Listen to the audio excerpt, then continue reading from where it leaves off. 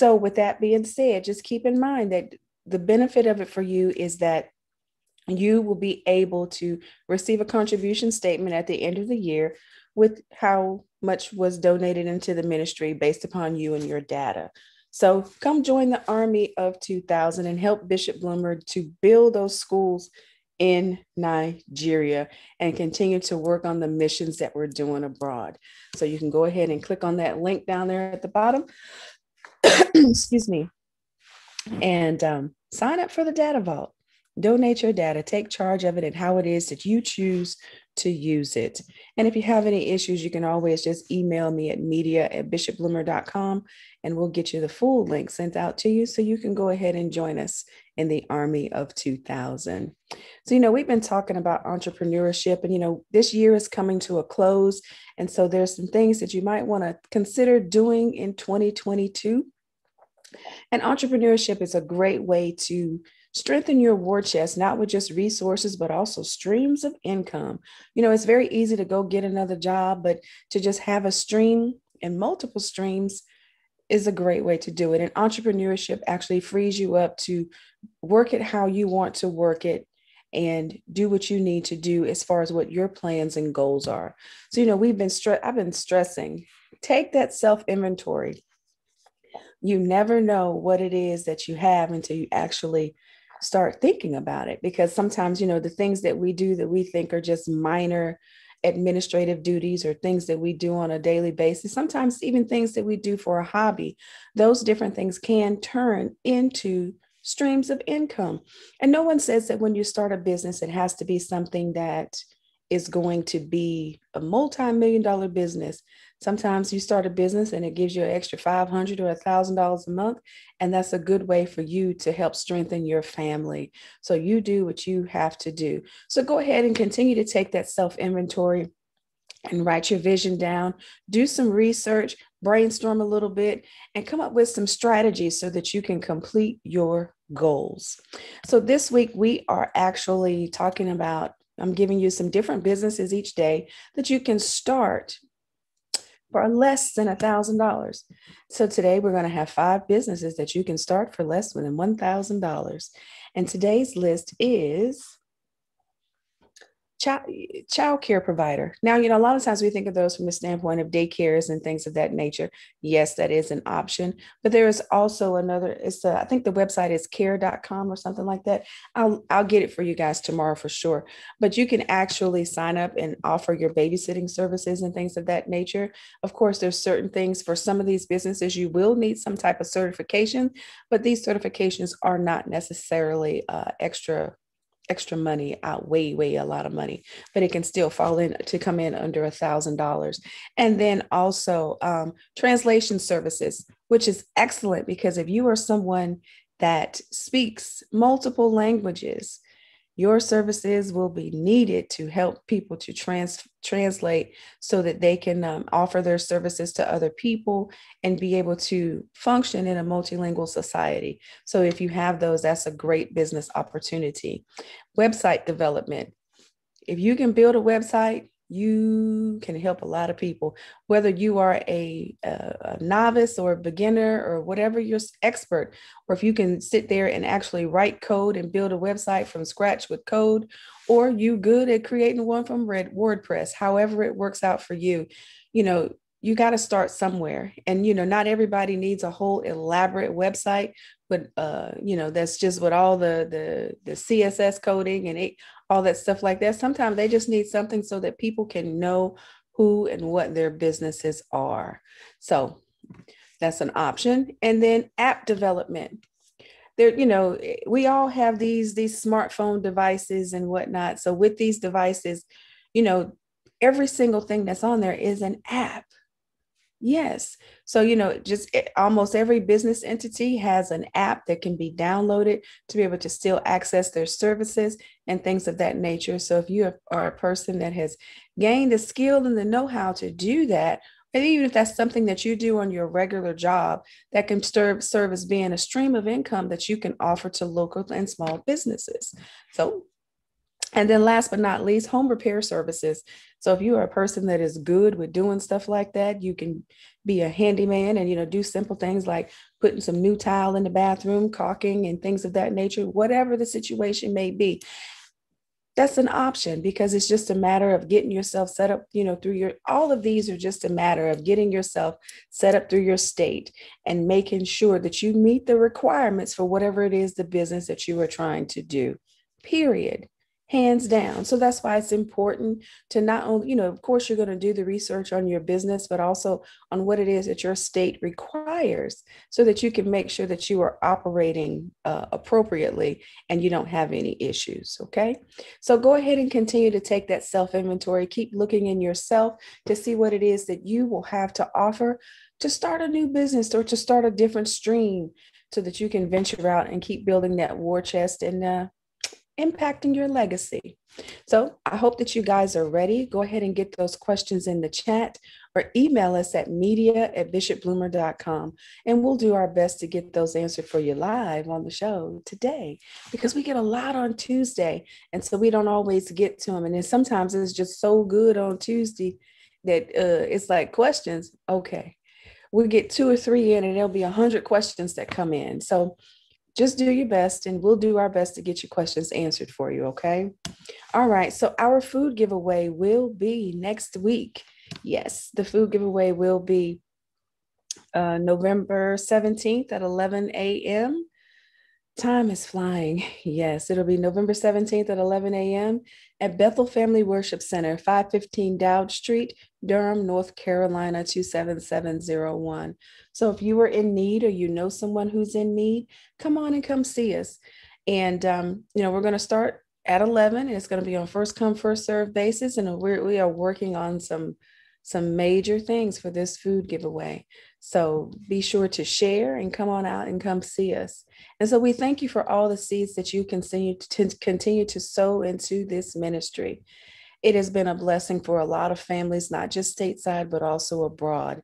And so we thank you for standing strong with us to continue to help us to do the missions work that we are doing. All right. And also, go ahead and tell us your testimony. Tell us how Warfarecology has blessed you.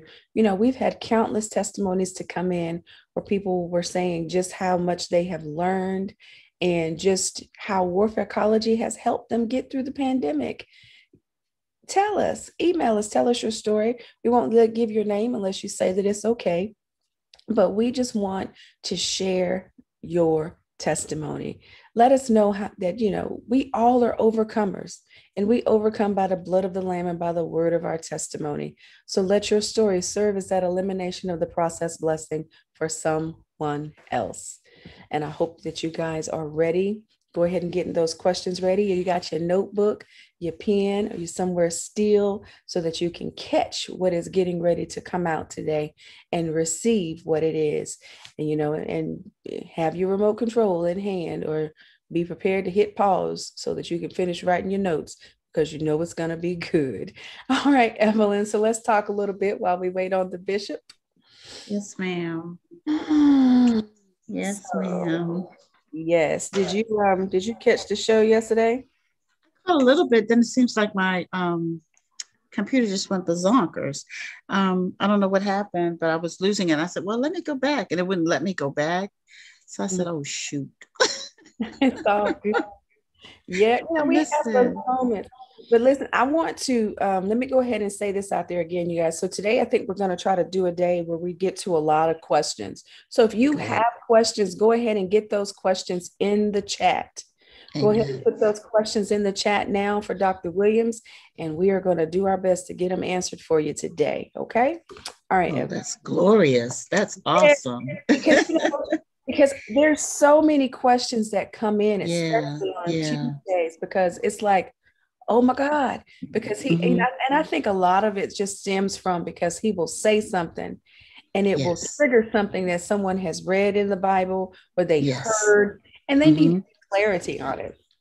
Yeah. And that's one thing that I appreciate about this platform that, you know, people are able to ask those types of questions. Yes. So that they can gain the knowledge that they are seeking. Mm-hmm. So mm-hmm. that is what makes it amazing. That's awesome. And then we get the current events, we get things that are happening that we might get a little whiff of it, but or might see a little flash on the news go across and we go, oh, really? That's happening? And we just forget about it. We're not, you right. know, it's like, oh, well, you know, but right. when he explains it to us and give us the the undercoating, who's mm-hmm. all involved in this thing, you go, what? Right, right. you know, and that's that's what I'm gonna say this, and I'm gonna leave it alone about the news. I'm, gonna tread lightly though. Go ahead. Good. Tread lightly. because a lot of the times, the things that you see that are the major stuff that everybody's talking about mm-hmm. is not really what you need to be worried about. Right. It's that little blip that comes up mm-hmm. that said uh, somebody just uh, activated their nuclear weapons or whatever it may be. Yes. It's a little blurb that comes up that's going on the ticker, going across the screen. And, yeah. it's like, oh, and it's acting like it's just something that's just minor and obsolete. And that's not the case. So yes. you got to make sure that you examine your sources and mm-hmm. what news station that you're listening to and stuff like Amen. that so that you can keep yourself informed mm-hmm. of what's mm-hmm. going on around you. And I do agree. And not just in your neighborhood. Uh-huh. Mm-hmm. mm-hmm. that's know. it. And you're so that's so true. I do agree. I really do. Because it's a lot of things that I don't get a chance to sit down and get the the intake. I, I don't get it. Um, because I'm busy. I'm I'm you know here with mom and my sister, and then I'm you know mm-hmm. we're helping her out and we're doing different things, and then nurses come in and all this, and other people come in and out and in and out, and then you're sitting there going, okay, I need a breather then you don't get it. Then your children call, and then your grandchildren. it's just so much going on in people's lives now right. that we don't really get in tune. In tune, mm-hmm. you know, like with things that we really need to pray about. And I wonder, okay, is that a trick too to get the saints' minds away from what's really going on, so we don't intercede for each other and the world and. Ooh, you know Listen, yes, go ma'am. ahead and finish because that was good. Yeah, that, you know, I really feel that. You know, I said, God, why am I so? I, I'm running here, there, and everywhere. I used to have the time to just stop and say, Father, in the name of Jesus, I ask you to bless those people over there in Afghanistan and touch the people, da da da da da da da da. And now I don't. Mm-hmm. It's too much. Mm-hmm. And I'm saying, well, I need a break here. Oh, whoa. I'm not calling on the Father. Something's missing. you know, and that's, that's it is one of those things that, and then I'm sure that you realize that when you once you realize that something was missing, mm-hmm. At the minute you get back on track, you know exactly what it was that was missing. Mm-hmm. Because mm-hmm. that time that we take out to spend with the Father is yes. so precious and is so important, you know, and, mm-hmm. and everybody, you know, just and I think this actually came up yesterday or Friday, just okay. talking about praying without ceasing. It's like, wow. what does that really mean? You know, mm-hmm. it's like, you know, because every now this is me, okay? You I know, hear you. disclaimers. Everybody okay. when you sit and say that you you going you praying and stuff like that, that you got to have a whole 30 minute prayer. No. No, and that's not the the Mm-mm. no. You know, Mm-mm. you you got to learn how to get that prayer in and mm-hmm. say what you got to say and just keep going because we mm-hmm. don't always have to, you know, have a hundred million eh, amens and hallelujahs and mm-hmm. stuff like that. Say what you got to say, get the prayer mm-hmm. out so that the angels can react and get the Amen. word. You know, that that's what good. it comes down to. We just, we got to make sure that we do it. So mm-hmm. Mm-hmm. take that time. That. You know, come no matter what, we have to make sure that we take the time out of our day to give mm-hmm. God his time because yeah. giving him his time, you know, that you know, sometimes you'll be praying and you might be praying about something totally different, and all of a sudden something drops in your spirit. Yes. Or someone drops in your oh, spirit. Oh, yes. Mm-hmm. Because they are in need of prayer. Yes. Or the situation mm-hmm. is in need of prayer. Mm-hmm. And we mm-hmm. have to be obedient to those things that we hear from God. And, you know, Amen and just and in doing that that's what allows us to to to look out for one another you know, mm-hmm. sometimes if someone just and I, and I made up in my mind and I started doing this. When someone just drops in my spirit, especially if it's someone mm-hmm. I know, I just pick yes. up the phone and start calling. Uh-huh. Sounds especially good. With someone that I don't talk to on a regular basis. Yes. Mm-hmm. And it's like, hmm, how they doing? Mm-hmm. Find out. Mm-hmm. A text mm-hmm. message, call, or something. And then a lot of the times, then you find out after that, they'll be like, oh my gosh, I just needed that. Mm-hmm.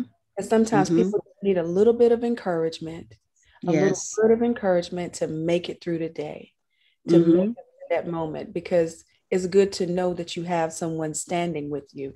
And in doing that, that helps to galvanize us and fortify mm-hmm. the body for and do the things it is meant to do it makes a difference. And and if anybody's listening to you and i at this moment you know the intercessors those people who are just prayer warriors you know and they may have never introduced themselves as such right. but they're prayer warriors and you know you are. We get weary. We get broken down. We get i don't know frustrated. We get God, what is it? What do you want me to do now? You know, we, you know, we do, you know, and and if people say they don't, then that's not true because we're human.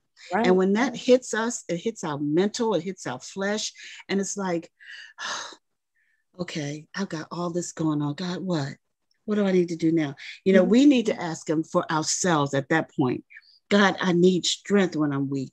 You know, yeah. give me the love when I feel forsaken. Give me courage when I'm afraid and wisdom when I feel foolish. We need to ask him for ourselves so we can get back on the on the on board, get back yeah. in service. We're in the military here. So we need to get our forces together and pull it because so much is happening. Right. And I think I believe these stresses, these things that have come in our lives is stopping us from paying attention because when we paid attention, I'm telling you, those prayer warriors were hot.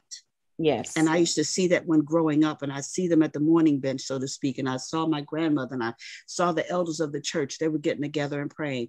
Mm-hmm. Where are we? Mm-hmm. Where are we? Right. Yeah. it's just that that right there is just a lot. And that's just where we are you know mm-hmm. we have to make sure and that's you know i think that it, that's why it's so appropriate that we are going from reset start mm-hmm. Amen. because that's what we got to get back to mm-hmm. that is it right there mm-hmm. just mm-hmm. making sure because you know and and and to say that you got to know that if you're praying you're praying for and against something Yes. Amen.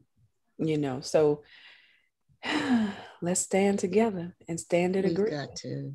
We've we, got to. We do. Yeah. Mm-hmm. Mm-hmm. You know, and it's it's just that's just where that's the that's where we are. Mm-hmm. Now it's time to strengthen ourselves. And I keep hearing this that we just need to stand strong together. Mm-hmm. Watch God do what He's gonna do. And and I have a scripture too, Tamila, that he gave me, and that was today. And it's in Isaiah 40 and 29. It says, He giveth power to the faint, and to them that have no might, he increases strength. And when we feel like that, who's going to give it to us? Right. Nobody but God. Exactly. So we got to go to the rock. yes. Yes and, you know, you know, and it, and that just comes down to also just being sensitive. Yeah. To what it is that we hear from mm-hmm. the Lord. Mm-hmm. And just and heeding the instructions on what it is that He's saying. Yeah. When He's speaking. Mm-hmm. So go to the rock. That's right. That sounds good. we can do that, I think.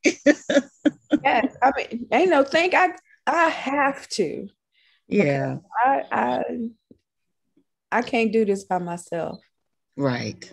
Right. And and I and I have to lean to lean on him daily, multiple mm-hmm. times. Mm-hmm. I'm like, Lord, I don't know, I don't know what okay.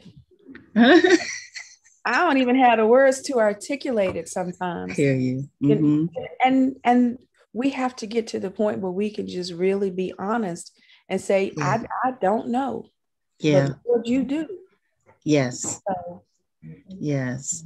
whatever it is that you require, Mhm. let's let's just be obedient to what it is that he's saying. I think that I've been kind of stuck on obedience and and and I've been on instructions, but really in following instructions, that's still about being obedient. Yeah. You know, just in reading and going through studying through different things, you know, when the Lord speaks, he says, Well, go here, go, you know, like he told Moses to to come up to the mountain. And then, you know, he Mhm. told Noah to build the ark, you know, and he tells different ones to go go down to to different places. And hmm some, you know, some of the, the stories that, you know, books that were written will, you know, people will be like, huh, why I'm going down there? And that's what we do too. But it's Mhm. necessary because, you know, at the moment that you receive those instructions from the Lord, hmm wouldn't that make you the angel of the Lord right then and there? Because you're the one hmm moving and doing what he told you to do for somebody Mhm. else. hmm And so the same Mhm. way he does that for us and having us to move for other people, he's having others to do that for us. Ever, you know, ever get sick or something like that, and then people start calling and texting you out of the blue. Yes. And then that's who you know who's praying, hmm That's so true. You That know. is so true. Especially Mhm. if something happens and you ain't even open your mouth to say what was going on. That's right. Someone calls to say XYZ, that's that's Mhm. who's praying. Yeah. That's who's Mhm. being obedient. That's who's listening and hearing from God and Mhm. following the instructions that He has laid out that need to be done. Yeah. Yeah. So, so Yes. knowing that people have done that for you, when it happens, Mhm. you got to do that for somebody else. Amen. Period. Amen. Yes. Yeah, we got to reach out to one another. We're in this thing together, huh? Yes, we. I would look. You know, I can't sing. I was about to bust it. Jamila, what was the song? Give it to what is what is it, Jamila? Go ahead. No, because it was a secular song, you know, and it, And you know, and they it, tell us uh, a lot they do tell us if a people lot. listen. Mhm, You know, If they listen. Uh, and, it, and it was only part of the song. Oh, there goes the bishop. Praise the Lord. Okay. that the, the song it, it's an older song it says we're in this this this thing forever we're we're in this thing together we got a love that will last forever so that Okay. might, I might be butchering the words or whatever but That's i'm in this thing forever with Mhm. god Yeah. Mhm. And see that secular song, that secular song um, brought um um um great truth. Yesterday we did a secular song on there called um um um uh, um uh, uh, Diana Ross saying uh touch me in the morning. Yeah. You know, secular songs have more meaning than the Christian song. Christian song said, I don't want no peanut butter and jelly.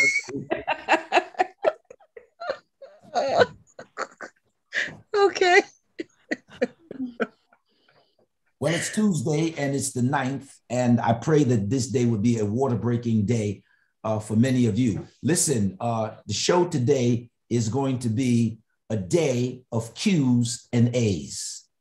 A day of Q's and A's. So, those of you that are watching and you're join, joining on right now, pull out your notebooks and start going through all of your notes about your notes and what have you, and things that you heard said or heard us say. Get all your notes and stuff like that together and send it in if you want a, a chat. Uh, how you doing? Put it in the chat. Chat. Uh, uh, you want to email a question? Email it in. Someone texts me and says, "I am so watching the program." This is last week. I'm so watching the program today. I'm so confused. I'm so upset. He is absolutely wrong. Well, text me what he's wrong about, and so we can we we, we, we can we, we we we can fix that. Okay, because I don't know what you're talking about, and and and you you, you know, and uh, that's what we have. We open it up. We don't we don't we don't run from anything. And so get yourselves together. Share, like, like, share. Everybody need to connect with somebody. Everybody need to get somebody going. If you know anybody who know wants to know anything about the Word of God, let's pull it all together. Yesterday's show, uh, we went into Q's and A's all day long. That's what we did, and it was great. People asked some questions on relationship yesterday. Hmm. hmm. Yes, they said that, and and you know, Adelia, Adelia comes alive when when when when when you start talking about sex. I don't know. It's like this, like a Holy Ghost. Says some some just stands up in her. And so I did a Ronnie King yesterday. I just went offline. was. Mm. So um um let's do this. Let's get ready. Excuse me. Let's get ready to um to go forth today in the name of Jesus. Um, I'm looking for my intercessors, and I want you to be in place and get ready to uh, do this in the name of Jesus. Yeah, all of our intercessors, all of our intercessors, I'm ready for you.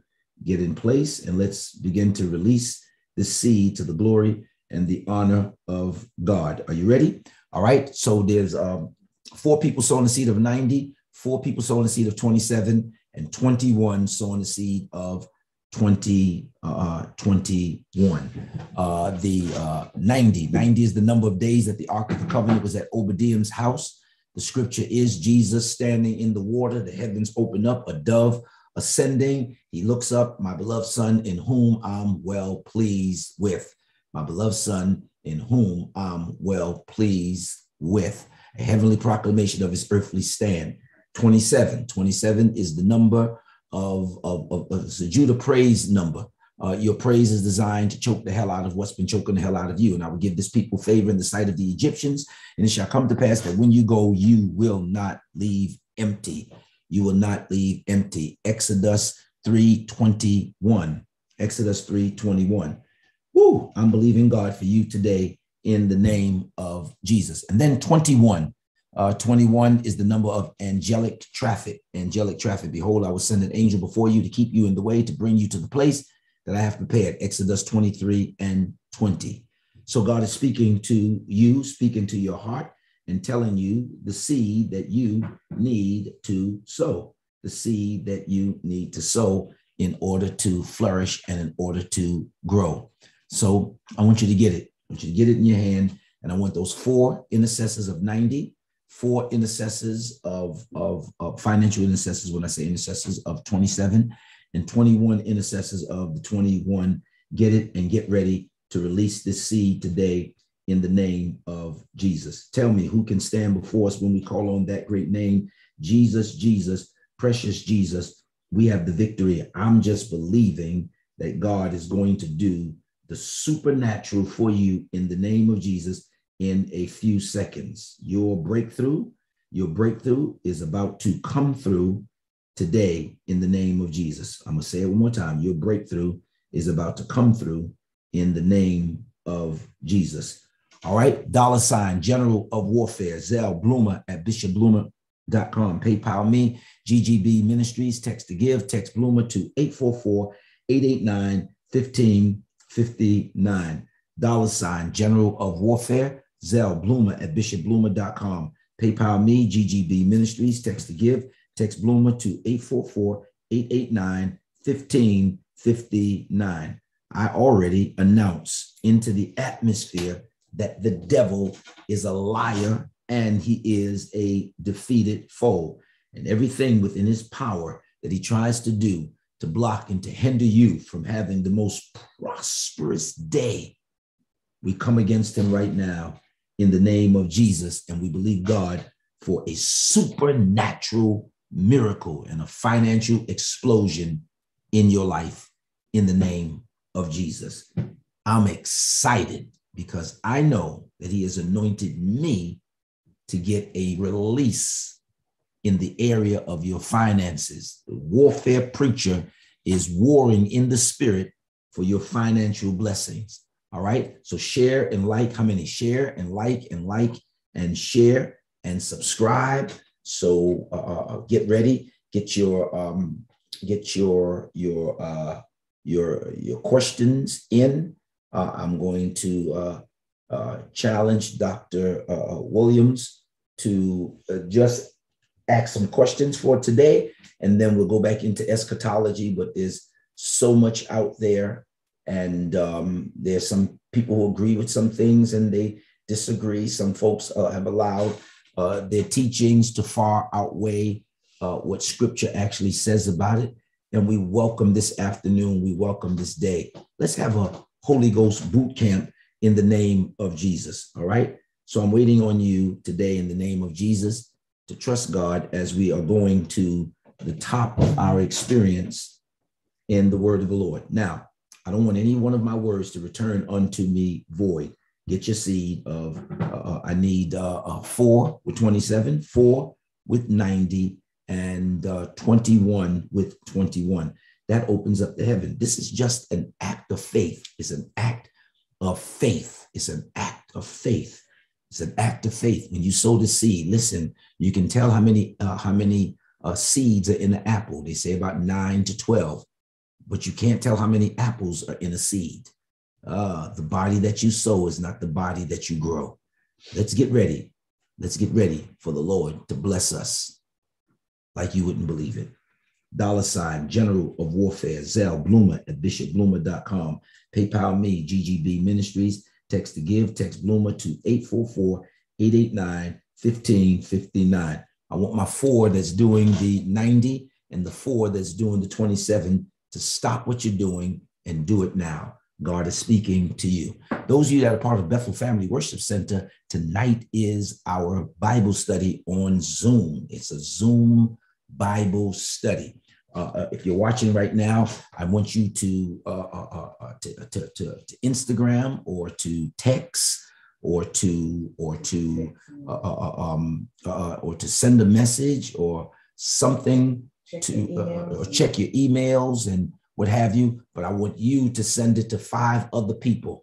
And I want that five to send it to five others, and that five to send it to five others because Bishop is going to be on tonight live, and we're having an interactive Bible study. There's something I want to tell you. It's going to really, really bless you. The Lord's going to it's going to bless tonight in the name of Jesus. 7:30 uh, this evening. So share it, share it, like it, share it, share it, share it, like it, like it, share it, share it, share it, like it, like it, share it, share it, like it and uh, God will do tremendous things. Okay. Um, thank you so much. Lourdes Wesby, uh, thank you so much. Shirley Brown, thank you so much. Evelyn Corbett, thank you so much. Betty Moore, thank you so much. Uh, uh, uh, uh Frida Henderson, thank you so much. Adele Hardy, Heartily, thank you so much for your seeds today as you are sowing. Four people are sowing 90, four people are sowing 27, 21 is sowing 21. I'm not afraid, nor am I ashamed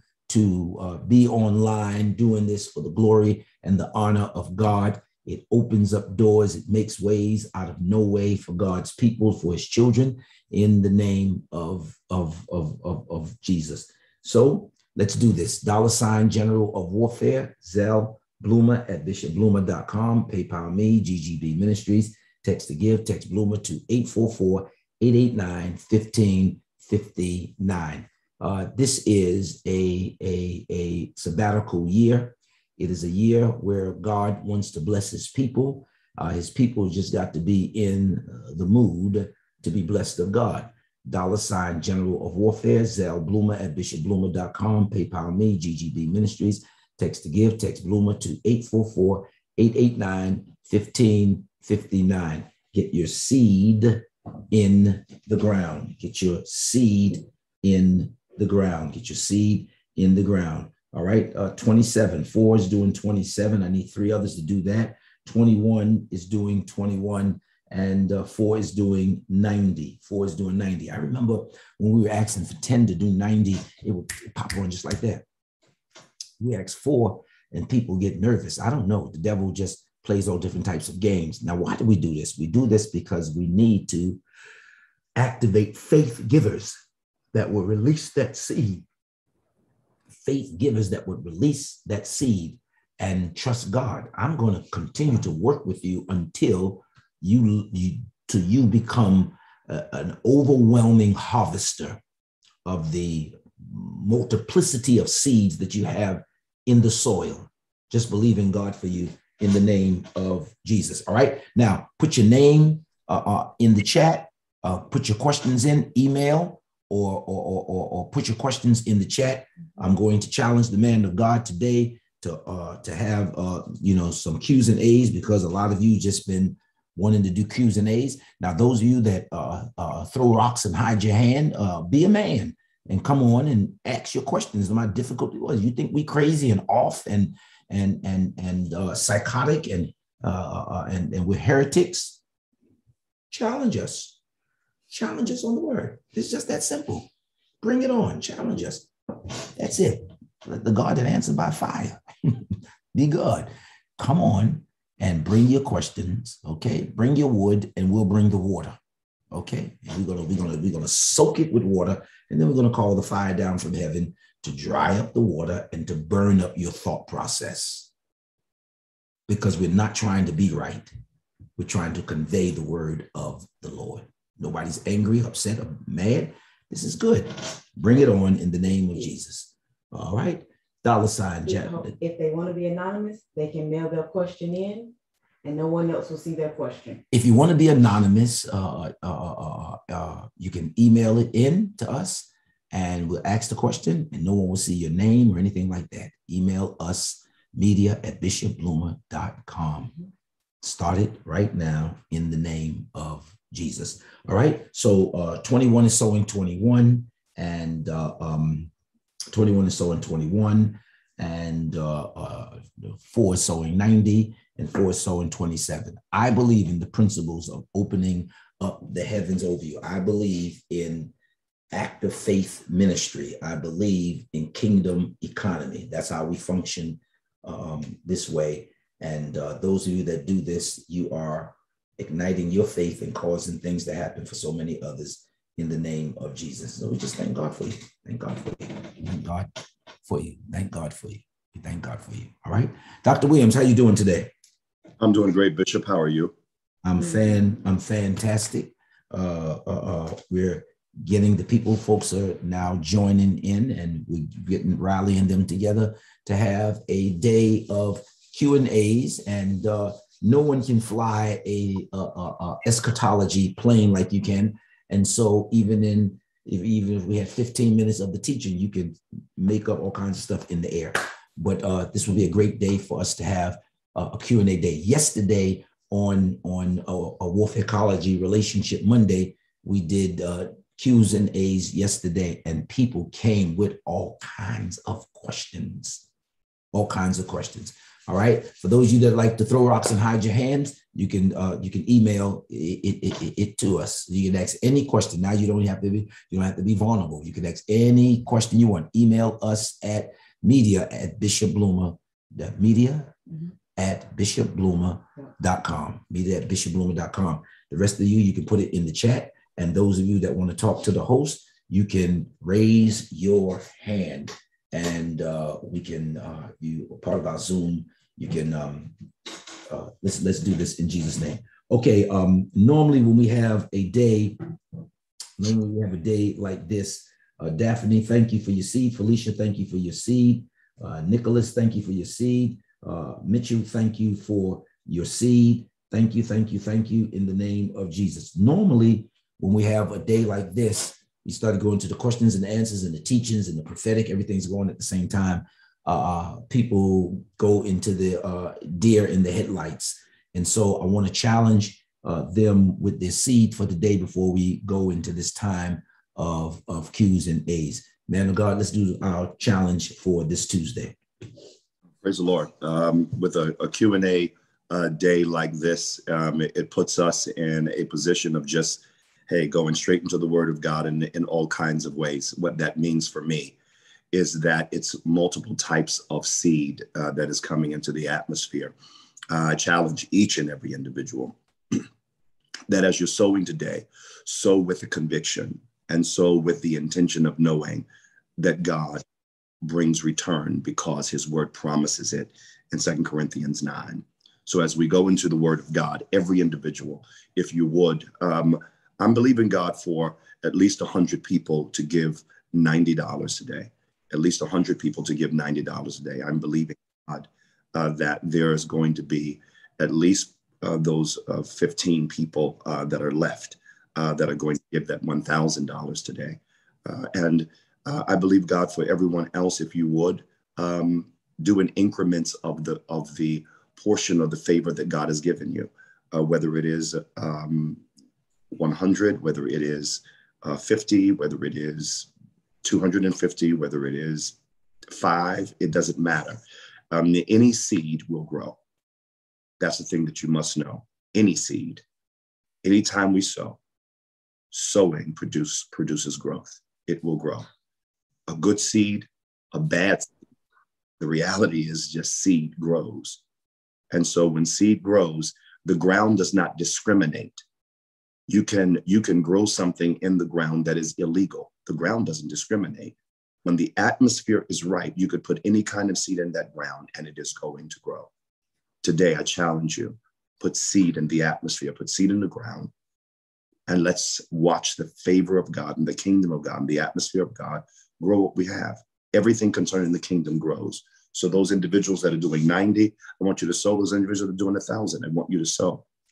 You know, and I believe God. I, somebody's on my heart and they have 70 and they say, I want to sow that. We want you to split that seed and just split it. These are two ministries working together. And it's something that you don't often see with that level of commitment and consistency of, of two ministries working together. So this is what I challenge each and every individual to do right now. And I want them to put up um, where uh, people are going to sow uh, so that uh, people can have an understanding about their seed. So, right now, if, if you all would, um, and Vanita, if you would, I don't know if Vanita is hearing me right now, but Vanita, if you would put up there, and I think it's dollar sign uh, General of Warfare, put that up, dollar sign General of Warfare. Uh, the next thing is uh, General or dollar sign General Warfare. I'm trying to remember it. Dollar sign General Warfare. There it is. Zelle um, uh, bloomer at bishopbloomer.com. Uh, PayPal me is paypal.me forward slash GGB Ministries.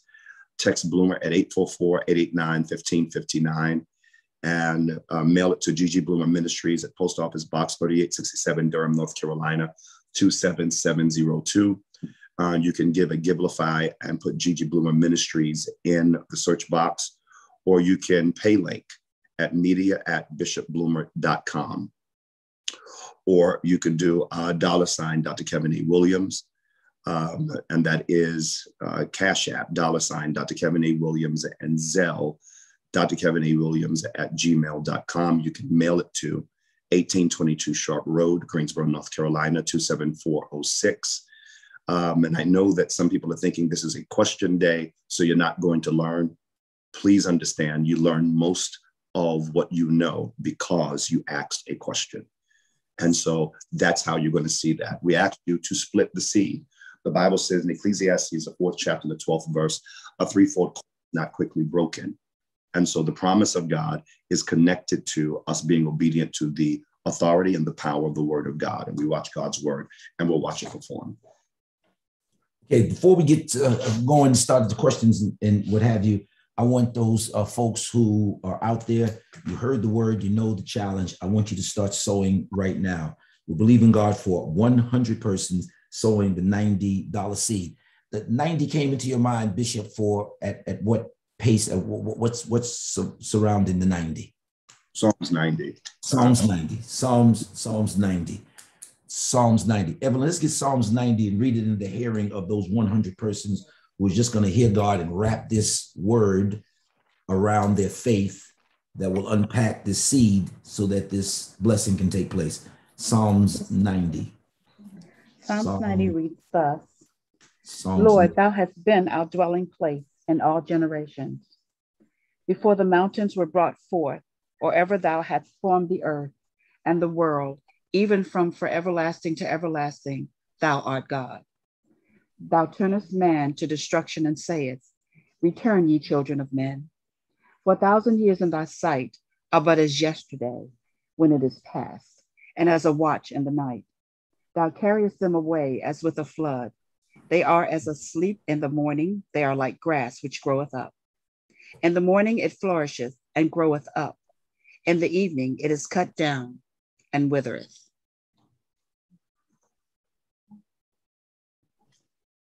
That was that was that was Psalms 90, right? Yes, sir. And it started off. I started saying, at the first verse. It said what? The first verse said, "Lord, Thou hast been our dwelling place in all generations." Hmm. Wow. You know, um, in in um, in the teachings on um, I did a I, I did a a, a, a form uh, on the contradictions of the Word of God. And uh, one person asked the question, he says, you know, Genesis 1 versus uh, John 1. In the beginning, God created the heavens and the earth. And in John 1, it says, in the beginning was the word. And they, said the word conflicts itself. And Moses was given the challenge uh, to write uh, on creation. And Moses writes on time. John writes from eternity. And then Moses writes this psalm in Psalm 90 uh, in his later years, Lord has been our dwelling place in all generations before the mountains were brought forth, even before thou formed the created world from everlasting to everlasting, thou God, and sews the whole thing up between John 1 and 1 and Genesis 1 and 1. And I think that um, that's a fitting text today, being that we're going to be able to deal with questions.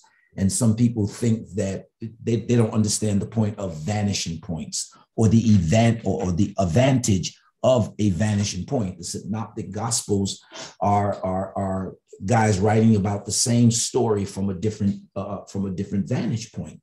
And it's a powerful, powerful thing. I'm gonna give a shame, shameless uh, uh, what you call. It? I wrote a book entitled "Vanishing Point, um, uh, seeing the unseen before it manifests. And I promise you, today is going to be a day of supernatural manifestations. So I'd like to right now, those of you uh, uh, uh, who heard the word. there are 15 persons whose seed challenge is a thousand. If I pastored a church, if I was a bishop, if I was an itinerary evangelism that was moving, moving about, if I had a business in any of those, particularly if I was starting a business or I keep on dreaming of the business that I'm starting, all of that, I would get that thousand dollar seed and I would sow it today. Uh, Deuteronomy 15. I would uh, uh, sow that seed today, knowing that the God of your fathers shall make you a thousand times more, that he will massage your vision and give you uh, uh, uh, uh give you the ability to build today what you're going to live in tomorrow, to be able to see tomorrows after tomorrows, to develop you, to give you insight, foresight, and hindsight. You're holding on to a seed and the seed that you're holding on to is hindering and holding up your harvest. Any seed you sow, the man of God said today, is going to grow. I read that article some times ago about the Smithsonian Museum while in their in their excavation of land down there in Egypt, they came across one of the uh, tombs inside of a tomb, and when they got into there, they found this large sack of seeds they brought it to the Smithsonian uh, Museum and planted the seed, and they were able to grow ancient corn. Great day in the morning. That the, I'm telling you, the soil has an assignment, the seed has an assignment, and when they come together, the rain, the rhema, the word that God spoke will not fail, will not fail, because he put into the universe decrees decrees that are laws, and they have to follow God's word. So I'm believing God for you right now. I want, before we start moving forth, I want at least 25 of the 100 persons to begin to le- release that seed of 90. Just let it go right now. How many of you got? Just let it go right now in the name of Jesus. Dollar sign, General of Warfare, Zelle, Bloomer at bishopbloomer.com. PayPal me, GGB Ministries, text to give, text Bloomer to 844-889-1559. Dollar sign, Dr. Kevin A. Williams, Zelle, Dr. Kevin A. Williams at gmail.com or mail to 1822 1822 Sharp Road, Greensboro, North Carolina, 27406. Split the seed Wrap these two anointings around your seed and double the impact in the name of Jesus. Then I do not want you to get intimidated if your seed challenge is not 90, if it's not a thousand, if it's not the double jubilee of a hundred, if it's not 50 or 250 or 500. You sow the seed that the Lord spoke to you, but don't wait. Get your seed into the soil. I want to do this by faith today that your seed, your seed that is being released right now is the cash that you're letting go. And the rain is the rhema, it's the word of God that is going to fall on your seed of faith and watch the harvest. Many of you going to experience a 72 hour a breakthrough 72 hour anointing. I heard that this morning in our prayer call, and I believe that is the, the word of the Lord for today that God is going to resurrect some things in your life in three days. In three days, you're going to resurrect something in your life. Is it 93 30s? It's 330s. It's 330s. There are many of you whose seed challenge today is, is $30. Obey God and release that seed. Dollar sign, General of Warfare. Zelle Bloomer at bishopbloomer.com. PayPal me, GGB Ministries. Text to give. Text Bloomer to 844 889 1559. You're the owner of a daycare center, of a daycare center. You're the owner of a, a, a special learning center. I sense that in my spirit. Your seed challenge today is a thousand. Drop what you're doing, pull the car over to the side of the road, and release that seed. Release that seed all of the of the revenue that got hemmed up and hindered during COVID is about to be released to you. It's about to be released to you. God has already spoken to you about the thousand dollar seed. You're a little fright, fearful and frightened about it. Loose that seed this afternoon. This afternoon. This afternoon. Those thousand dollar seed sowers must release that seed dollar sign, general of, oh, sickness in your body, sickness in your body. You just got to the point of where it looked like this thing was going to take you out, and God turned the corner with it. Get a seed in your hand and thank God for it today in the name of Jesus. Y'all stop playing with God. Stop playing with God. Sow the seed, place a demand on the seed, and reap the harvest dollar sign General of Warfare, Zelle Bloomer at bishopbloomer.com, PayPal me, GGB Ministries, text to give, text Bloomer to 844 889 1559, dollar sign Dr. Kevin A. Williams, Zelle Dr. Kevin A. Williams at gmail.com, or mail to 1822 Sharp Road, Greensboro, North Carolina 27406. Split the seed. Wrap this anointing around your seed and double the impact, double the impact. 90, 90, 1,000. There's many of you who see today is 30. Get the $30 seed, get the $30 seed and put it into the soil in Jesus' name. Amen and amen. Dollar sign, General of Warfare, Zelle Bloomer at bishopbloomer.com. PayPal me, GGB Ministries. Text to give, text Bloomer to 844 889 1559. Dollar sign Dr. Kevin A. Williams. Dr. Kevin A. Williams, dollar sign Dr. Kevin A. Williams. Zelle, Dr. Kevin A. Williams at gmail.com. Zelle, Dr. Kevin A. Williams at gmail.com or mail to 1822 Sharp Road, Greensboro, North Carolina, 27406. Split the seed today. Split the seed. Wrap this anointing around these two anointings around your seed and double the impact in your life. In Jesus' name, amen. If you have a question, drop your question into the chat. Q's and A's day. Drop, drop your question into the chat. And if you want to speak to the man of God, raise your hand. Raise your hand. Now, I'm believing God for about uh, four more of you to sow that seed of 90 Four more of you to sow that seed of 90. No word that I speak will return unto me void, but it will accomplish that which it has been sent to do. It will accomplish that which it has been sent to do. Loose that seed in the name of Jesus. Loose it now in Jesus' name and watch the Lord be a blessing. Share, like, like, and share. It's one of those afternoons, controversial afternoons is going to be. Uh, whatever your question is, don't be shy.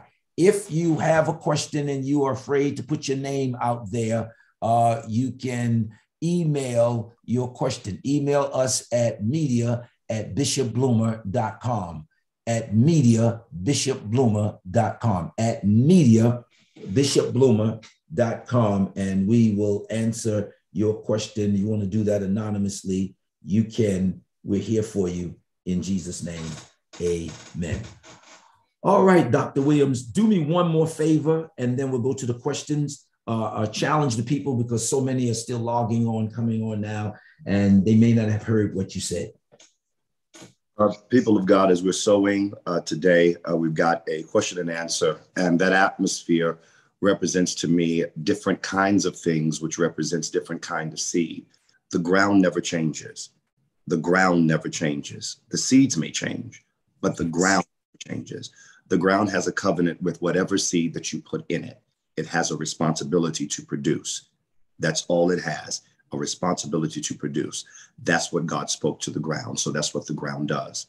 For each individual, as we sow in the kingdom of God, we believe God for the results of the kingdom to manifest and take place within our life.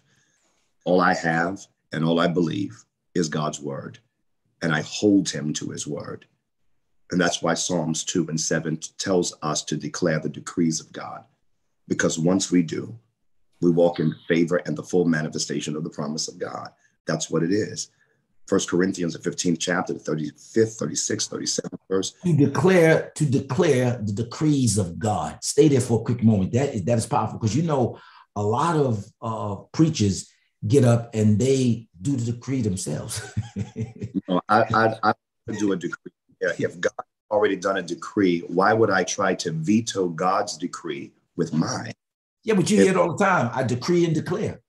Yeah, uh, and and that's because um, it. Lord have mercy, I'm gonna get in trouble. That's because someone popular um, prayed a prayer, and when they prayed a prayer, everybody latched on to the prayer because the prayer sounded good, and it's it was a good prayer. But the process of what God really promises is what it is. We can't walk around here and make our own laws and then declare it. That's basically what we're saying. When God has made a law, when God has told us through his word that this is what I decree over your life, then what we're doing is we're declaring the decree of the king. If we're decreeing it, then we put ourselves in the position of the king.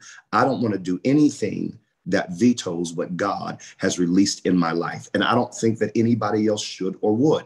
It is God that said in Isaiah 55 and 11 that my word will not return unto me void. And so, because his word does not return empty, it does not return void, it'll cause a 90, it'll cause a, a, a 90 year old woman to have a baby with a 100 year old man. Mm. And that's because of the favor of God. The Bible talks about it in, in Romans, the fourth chapter, the 17th through the 22nd, 23rd, 24th verse. And we're talking about Abraham there. And there's so much that I can talk about when it comes to declaring the decrees of God. He said, By my stripes you are healed. All right, then I need to, to declare what he has already decreed. And so it makes sense if you look at it from that perspective. I just, I'm just not with the colloquialism of the church. I stay in the word of God. That's where my safety is, that's where my comfort is. I really don't do much outside of that. And I challenge each and every individual do you want the favor of God? If you do, then hold God to his word take his word to task. He said, Prove me. He want to open you the windows of heaven and pour you out a blessing that you won't have room enough to receive. But we have to start walking into that kind of conviction if we're going to fulfill what the word of God says for our lives. And that's each and every one of us. That is each and every one of us. And so I, when we I, say, so when we say, uh, um, when we get ready, we say, so I declare the decrees of God. That would yes, be the right terminology. Yes, I, I, declare the decrees of God. When, when right now they call them um, um, constitutionalists, but they're not constitution. It's not a constitution. But when um, when the police stops people on the road and they say, "Well, give me this and and uh, and and and give me that," or somebody's walking and say, "Give me uh, your information," and then what they do, they say, "Well, no, I don't have to give you that," based on, and then they start quoting the law. And the police officers cannot override the law; they can only enforce the law. Right. But you can always override a law when the person is ignorant of the law. But when a person understands the law, you can't override the law or you violate that particular law. That's what happened with Paul. No, no Roman citizen was supposed to be hit or beaten. And when he was, he says, I'm appealing to Caesar, and everybody got scared. If you know the laws of God, then you receive the benefits of the laws of God. And as a result, your life becomes a harvest of fruit. Dollar sign general of warfare zelle oh i'm sorry I, I, I, jumped in there in the middle when you was explaining it because i heard uh, declaring uh, uh decreeing uh, uh, declaring decree the decrees of god Mm-hmm. And then in the back of my head, I heard these preachers uh, decreeing and declaring, making new laws. You know, the, the law of gravity. Gravity does not exist to me anymore. I decree it. All right, now walk off that building and see what's going to happen to your behind. yeah, yeah. By the power of the decree, so be it unto thee. By the power of the decree.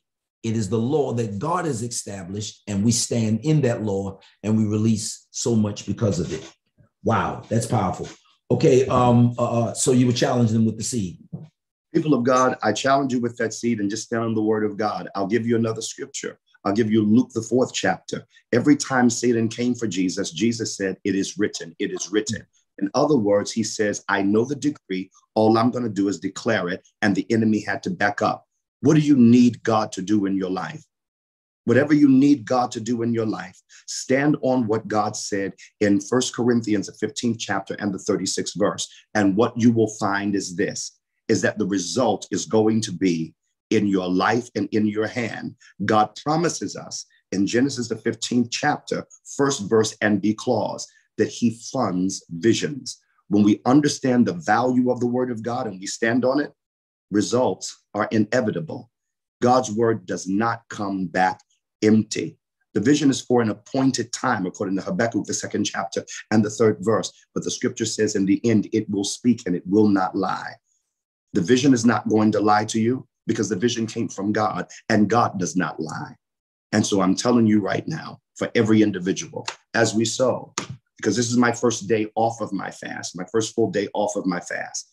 And as I've been on this 20 day, 21 day fast, I tell you right now, there's been nothing but the favor of God consuming in everything and in every atmosphere. Now I'm much smaller, but I'm but I'm more dangerous. And I tell you why. Because when I know the word of God and I stand on that word, results are happening in every aspect. I thought about for a few moments, it was the funniest thing to me about how the devil, you know, how there's demons around and that there's human demons too. It says, mm-hmm. be careful how you treat a stranger, for thereby you might be entertaining an angel unaware. But be careful how you deal with friends because you might be entertaining a demon un- un- un- unaware. The person right. who's close enough to you can be used. Of, Get thee behind me, Satan. Jesus said that to Peter. And so you're on your fast and stuff like that. And we had to do our tapings for the television program. And I walked in. I said, "Hey, what you want to eat?"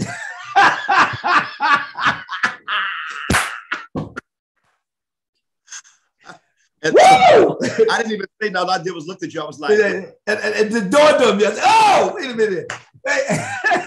yeah, yeah, yeah, yeah, yeah, yeah, yeah. It's like it's like in the wilderness where where where where, where Satan goes to Jesus and he says, "What would you like to eat?" and he's on his fast. All right, dollar sign General of Warfare, Zelle Bloomer at bishopbloomer.com. PayPal me, GGB Ministries, text to give, text Bloomer to 844 889 1559. Dollar sign uh, uh, General of Warfare Zelle, Bloomer at bishopbloomer.com. PayPal me, GGB Ministries. Text to give. Text Bloomer to 844-889-1559. Payment link, email media at bishopbloomer.com. Or you can sow your seed to Dr. Kevin Williams, Zelle, Dr. Kevin Williams, uh, uh, uh, uh I'm sorry, pay, Cash App, Dr. dollar sign, I'm gonna get it right dollar sign Dr. Kevin A. Williams, Zelle Dr. Kevin A. Williams at gmail.com, or mail to uh, 1822 Shop Road, Greensboro, North Carolina, 27406. All right. Uh, Cash App, Dr. Kevin A. Williams, Zelle Dr. Kevin A. Williams at gmail.com or mail to 1822 Shop Road, Greensboro, North Carolina, 27406 split the seed, wrap these two anointings around your seed and double the impact. We're going into Q's and A's now in the name of Jesus. It's going to be a great, great day in Jesus' name. All right. Questions? Okay. Question number one. They said last week you talked about the tribulations as if the saints will be here, but doesn't the rapture take place before the tribulation? No, not take place before the tribulation. Um, that is a teaching that uh, has has it's a traditional teaching. It's not a biblical teaching. The Bible does not say that the rapture takes place um, before the tribulation. It does not take place. Um, we have to. There's so much we've got to know. So let, let's let's start from the beginning. The first thing is is that what is a what is considered the tribulation that we're talking about? Because we have trials and tribulations in life anyway. But what specific tribulation are we talking about within the word of god concerning eschatology and the end of days? The tribulation that we're talking about is the time that the Antichrist is ruling or claimed himself to be God. Now, that is in Second Thessalonians, the second chapter, uh, starting at the third verse, fourth verse, fifth verse. Evelyn, would you uh, pick, pick that up for me, please? Uh, second Thessalonians 2. And let's look at uh, verse starting at verse 3, please. And it reads thus Let no man deceive you by any means for that day shall not come except there come a falling away first, and that man of sin be revealed, the son of perdition. Go on. Who opposeth and exalteth himself above all that is called God or that is worshiped, so that he as God sitteth in the temple of God, showing himself that he is God. All right. Remember so, ye. Now, this is the third temple that he's talking about. Israel has already built two temples. And now, according to the word of God, there is a third temple that is going to be built. When that third temple is going to be built, that third temple is going to be built after, after it's going to be right in the middle. Because I want to go to go to go to Daniel 9 and 27, because I want to make sure that I am clear. Because in whoever's asking the question, I'm going to give you, I'm going to give you scripture for it. And whatever person or preacher that taught you that, I want you to look at your notes and find the scripture that they gave you for it. Because, see, a lot of times, if somebody is teaching something, but they don't give you scripture, we go off the teaching and trust it because of who they are. But the thing that we've got to trust is what the word of God actually says. So, Evelyn, would you read um, Daniel 9 and 27 for me, please? And he shall confirm the covenant with many for one week. And in the midst of the week, he shall cause the sacrifice and the oblation to cease. And for the overspreading of abominations, he shall make it desolate, even until the consummation. And that determined shall be poured upon the desolate. All right. Now, so the tribulation, the tribulation period, the scripture says he will then make a covenant in the midst of that week that week is a seven, that's seven, years, a seven year week. In the middle of that week is three and a half years. So in that three and a half years is the tribulation period. So let's understand the tribulation period is not a seven year period. It is a three and a half year period. Now having that established, now having that established, since we know when the tribulation is, because it's the last three and a half years before Armageddon. Evelyn, I would like for you to go to Matthew, the 24th chapter, and start at the 29th verse, please.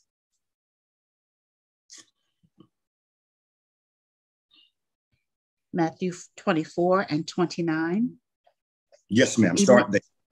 Immediately after the tribulation of those days shall the sun be darkened, and the moon shall not give her light, and the stars shall fall from heaven and the powers of the heavens shall be shaken. Okay, uh, Evelyn, I want you to read the 29th verse a little bit slower for me because I want yes, to they hear what I just said, what you just said, and what the word just read. Go ahead.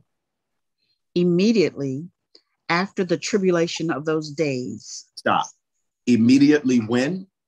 After the tribulation. After the tribulation of those days. Now let's find out what happens after the tribulation of those days. Go ahead. Shall the sun be darkened? and Go the ahead. moon shall and the moon shall not give her light. Okay. And the stars shall fall from heaven. Okay. And the powers of the heavens shall be shaken.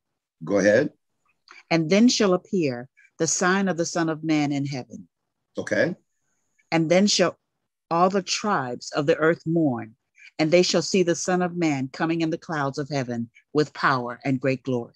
Now he's coming into heaven with power and great glory. Let's find out what happens. Go ahead. What is he doing? And he shall send his angels with a great sound of a trumpet, and they shall gather together his elect from the four winds, from one end of heaven to the other. Now he, he's gathering together, which now is the uh, is the rapture of the church. Go ahead.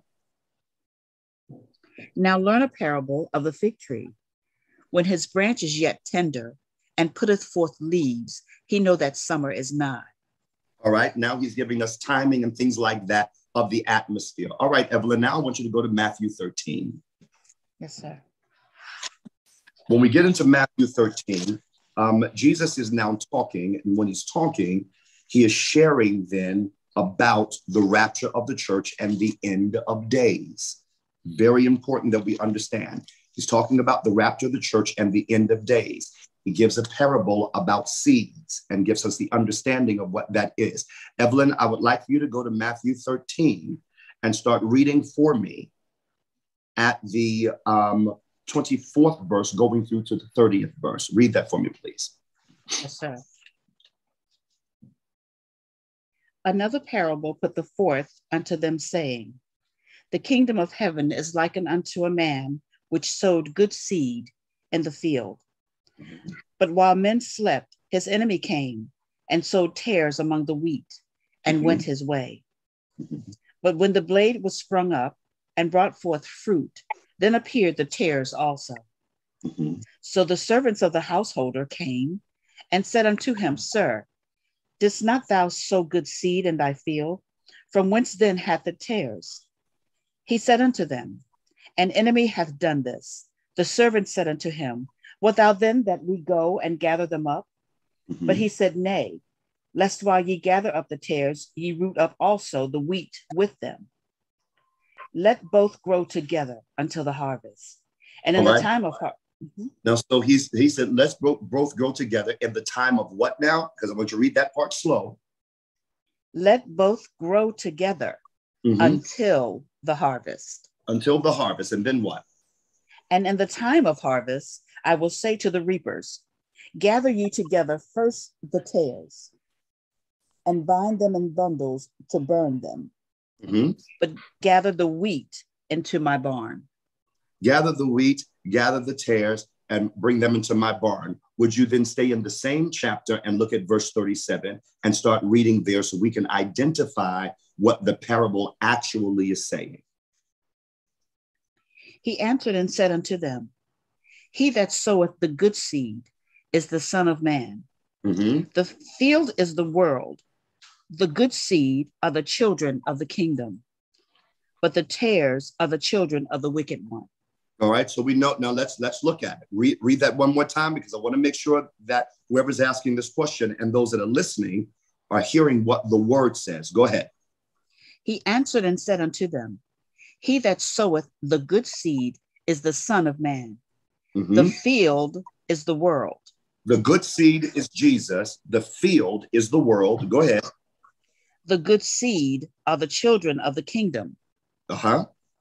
But the tares are the children of the wicked one. All right. Now we know what kind of seed. Oh, go ahead, because now everything is growing, whether it's good or bad seed. Something that I said a little bit earlier, it's still going to grow. Go ahead. The enemy that sowed them is the devil. Mm-hmm. The harvest is the end of the world. The harvest is what? The end of the world.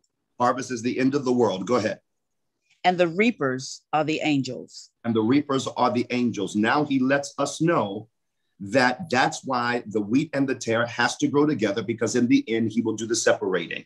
Let's then turn back around. Would you go to Revelations, the 14th chapter and starting at the 14th verse because there are two harvests that Revelations deals with. Revelations 14. Revelations 14 and 14. Would you start there because there is there are two types of harvest. So let's go ahead. And I looked, and behold, a white cloud, and upon the cloud one sat like unto the Son of Man, mm-hmm. having on his head a golden crown, and in his hand a sharp sickle. Mm-hmm. And another angel came out of the temple, mm-hmm. crying with a loud voice to him that sat on the cloud Thrust in thy sickle and reap, Mm-hmm. For the time has come for thee to reap, for the harvest of the earth is ripe. All right. For the harvest of the earth is ripe. All right. Now, he says, Thrust in thy sickle because the harvest of the earth is ripe. The, what is this? This is the people of God. The harvest of the earth is ripe. This is the people of God. And so he says, uh, I've got to pull them out. Go ahead and continue to read. And he that sat on the cloud thrust in his sickle on the earth, and okay. the earth was reaped. And another angel came out of the temple, which is in heaven, he also having a sharp sickle. And another angel came out from the altar, which had power over fire, and cried with a loud cry to him that had the sharp sickle, saying, Thrust in the sharp sickle, and gather the clusters of the vine of the earth, for her grapes are fully ripe. Uh-huh. And the angel thrust in his sickle into the earth, and gathered the vine of the earth, and cast it into the great winepress of the wrath of God. Mm-hmm. And the winepress was trodden without the city, and blood came out of the winepress, even unto the horse bridles, by the space of a thousand and six hundred furlongs. Okay, a thousand six hundred furlongs, that is 160 miles. That is what he's talking about, is at from Megiddo, the hills of Megiddo, going down to the valley through the valley of Jordan and up right there um, and in Jerusalem is 160 miles. That's what he's prophesying. What he's saying is, is that then he says, by the time you get there to Jerusalem at the Temple Mount, which is um, um, um, right there at the Temple Mount, there is a small valley there. The heat of the battle of Armageddon is going to be so intense until there's going to be so much bloodshed, until there's going to be about four or five feet of blood that's right in that valley. That's what that scripture is talking about. Um, go ahead. Would you fin- were you finished? Yes, sir. All right. Go to um, go to uh, Revelations 11. Start at verse 15 and end at verse 18, if you would. And the seventh angel sounded, mm-hmm. and there were great voices in heaven saying, "The kingdoms of this world are become the kingdoms of our Lord." and of his. What angel was this, Evelyn? Which angel? That was the seventh angel. Yes, the seventh angel sounded. Okay, please understand, everybody, that according to Revelations, the eighth chapter, um, going through to um, Revelations 11, there are only seven trumpets. The seventh angel has sounded his trumpet. But continue to read, please. Mm-mm, I think I lost my space. No, you can start right over to 15th verse. It's okay. 11 and 15. And, yes, sir. And the seventh angel sounded, and there were great voices in heaven saying, The kingdoms of this world are become the kingdoms of our Lord and of his Christ, and he shall reign forever and ever. And the four and twenty elders, which sat before God on their seats, fell upon their faces and worshiped God, saying, We give thee thanks O Lord God Almighty, which art and wast and art to come, because thou hast taken to thee thy great power and hast reigned. Go to First Corinthians, the 15th chapter, starting at verse 51, and I want you to end at verse 54. Behold, I show you a mystery. We shall not all sleep, but we shall all be changed in a moment, in the twinkling of an eye, at the last trump. For the trumpet shall sound. Wait a minute, Evelyn. De- Evelyn, how many trumpets are there? The twinkling of an eye, the last trump. For the trumpet okay. shall sound. Okay, so I so, didn't get to that number. Wait, wait, wait. Uh, according to the last scripture that we just read, we got oh, seven. sorry. There was right? seven. All right, so we got seven trumpets. Yes, all right, sir. if we got seven trumpets, then Paul is saying at the last trump, what's going to happen? Because Revelation's already told us there's only seven trumpets. Yes. So there's only seven trumpets. Now tell me what Paul said concerning when the last trump shall sound.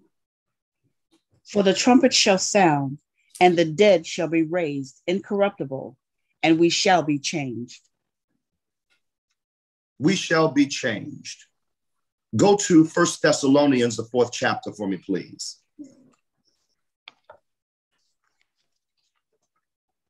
Uh, go to verse 13. The third chapter, verse 13. No, first uh, First Thessalonians, the fourth chapter. Oh, sorry. Fourth chapter, verse 13. But I would not have you to be ignorant, brethren, concerning them which are asleep, that ye sorrow not, even as others which have no hope. Go ahead, continue. Go to the 17th. We, yes, sir. For if we believe that Jesus died and rose again, even so them also which sleep in Jesus will God bring with him. For this we say unto you by the word of the Lord, that we which are alive and remain unto the coming of the Lord shall not prevent them which are asleep. For the Lord himself shall descend from heaven with a shout, with the voice of the archangel, and with the trump of God, and the dead in Christ shall rise first. Then we which are alive and remain shall be caught up together with them in the clouds to meet the Lord in the air. And so shall we ever be with the Lord. All right, so we understand this is the rapture, but let me make sure that we're clear. Evelyn, would you go back? Who is coming with the Lord when he comes? Did it say that, that those that are asleep? Oh, yes, sir. All right, so those that are asleep, and then after those that are asleep, then we which are alive and remain shall be caught up. Yes. So, so what that means is, is that there was no rapture before this moment. And because there was no rapture before this moment, there is no pre-trib, mid-trib, trib or tribulation. The tribulation is going to happen at the end. Now we can continue with this. And if we continue with this, then I'm gonna have to go to Revelations uh, 19. But see, here's the reality. The reality is, is that we will, we will, we will, we will, we will be here. We're not going to be gone. And this is why it's so important. And the reason that we teach in this level of intensity, and this is why I have to give so much scripture to back it up, is because there's been, let me tell you what is the most dangerous thing to the church. It's not sin, it's not mistakes, it's not people that have fell short of the glory of God. The most dangerous thing to the church is wrong teaching. False doctrine. That's the most dangerous thing to the church. Because if people believe a doctrine that is false, they will commit their soul to a false teaching. Mm. And this is why, for that individual, for anyone that is teaching you, if it is not the word, it is not to be embraced. It is not, you can, God, the scripture says, according to Daniel, the 10th chapter, when the angel is talking to Daniel, he says, And I have come for your words. Word is important. Jesus makes a statement in John 6 and 63. He says, My word is spirit and my word is life. So, for that individual, please note and take back to the teacher that told you and ask them. You don't have to be rude but ask them, please show me where in the Bible that we are not going to be here. And when they can't do that, be kind enough to share with them the scriptures that you just learned so they can be informed and they can teach correctly. What is the next question, Bishop? Dollar sign General of Warfare Zelle Bloomer at bishopbloomer.com, PayPal me, GGB Ministries. Text to give, text Bloomer to 844 889 1559. Dollar sign uh, General, uh, I'm sorry, there, dollar sign Dr. Kevin A. Williams, Zelle Dr. Kevin A. Williams at gmail.com or mail to 1822 uh, Sharp Road, Greensboro, North Carolina, 27406. 27406. Split the seed, wrap these two anointings around your seed and double the impact. There are those who see challenge today is a thousand, those who see challenge today is 90, and those who the Lord spoke to sow the seed, sow your seed in Jesus' name. Question. Okay. Um, the question says, um, could you please explain faith without works is dead? Does that mean you work with the faith that God will give favor, or do you wait with faith? Um, actually, it's both. And the reason being is because when God, when God has given us an understanding about our faith, we start working it. So uh, let's say, for instance, I have faith and I'm believing God for a job. What are my works? My works is to go out and put out applications. And when I put out applications, my faith and my work is working together to get the results. If I have faith that I can have a harvest, then I have to go and plant a seed. Now, if I plant a harvest of seeds, and once I plant a harvest of seed, a harvest of crop is going to come up. I've matched my faith with my works.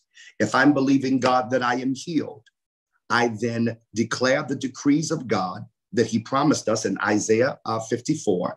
And then after that, I walk in that healing and do not plan for death, but I plan for life. That is faith with works. The Bible says, like the body without the spirit is dead, faith without works is dead. That means that works has got to be applied to your faith because they work hand in hand. Faith by itself is not enough. There's got to be some level of action, activity, movement, some application that shows that I believe exactly what I say that I believe through my outworks is dead, but faith with works is life. Next question. How will everyone be judged when Christians die, their spirit goes to heaven, and then they have Second Corinthians 4 and 10. Uh, 2 Corinthians 4 and 10. Evelyn, would you read that for me, please?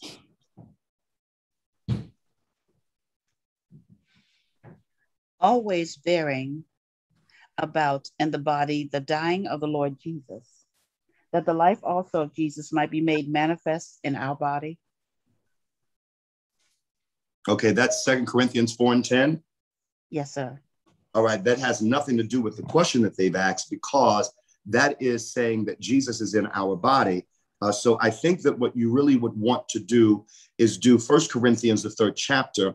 Would you start at the uh, 12th verse for me, please? First Corinthians 3. Uh, Evelyn, start at verse 12.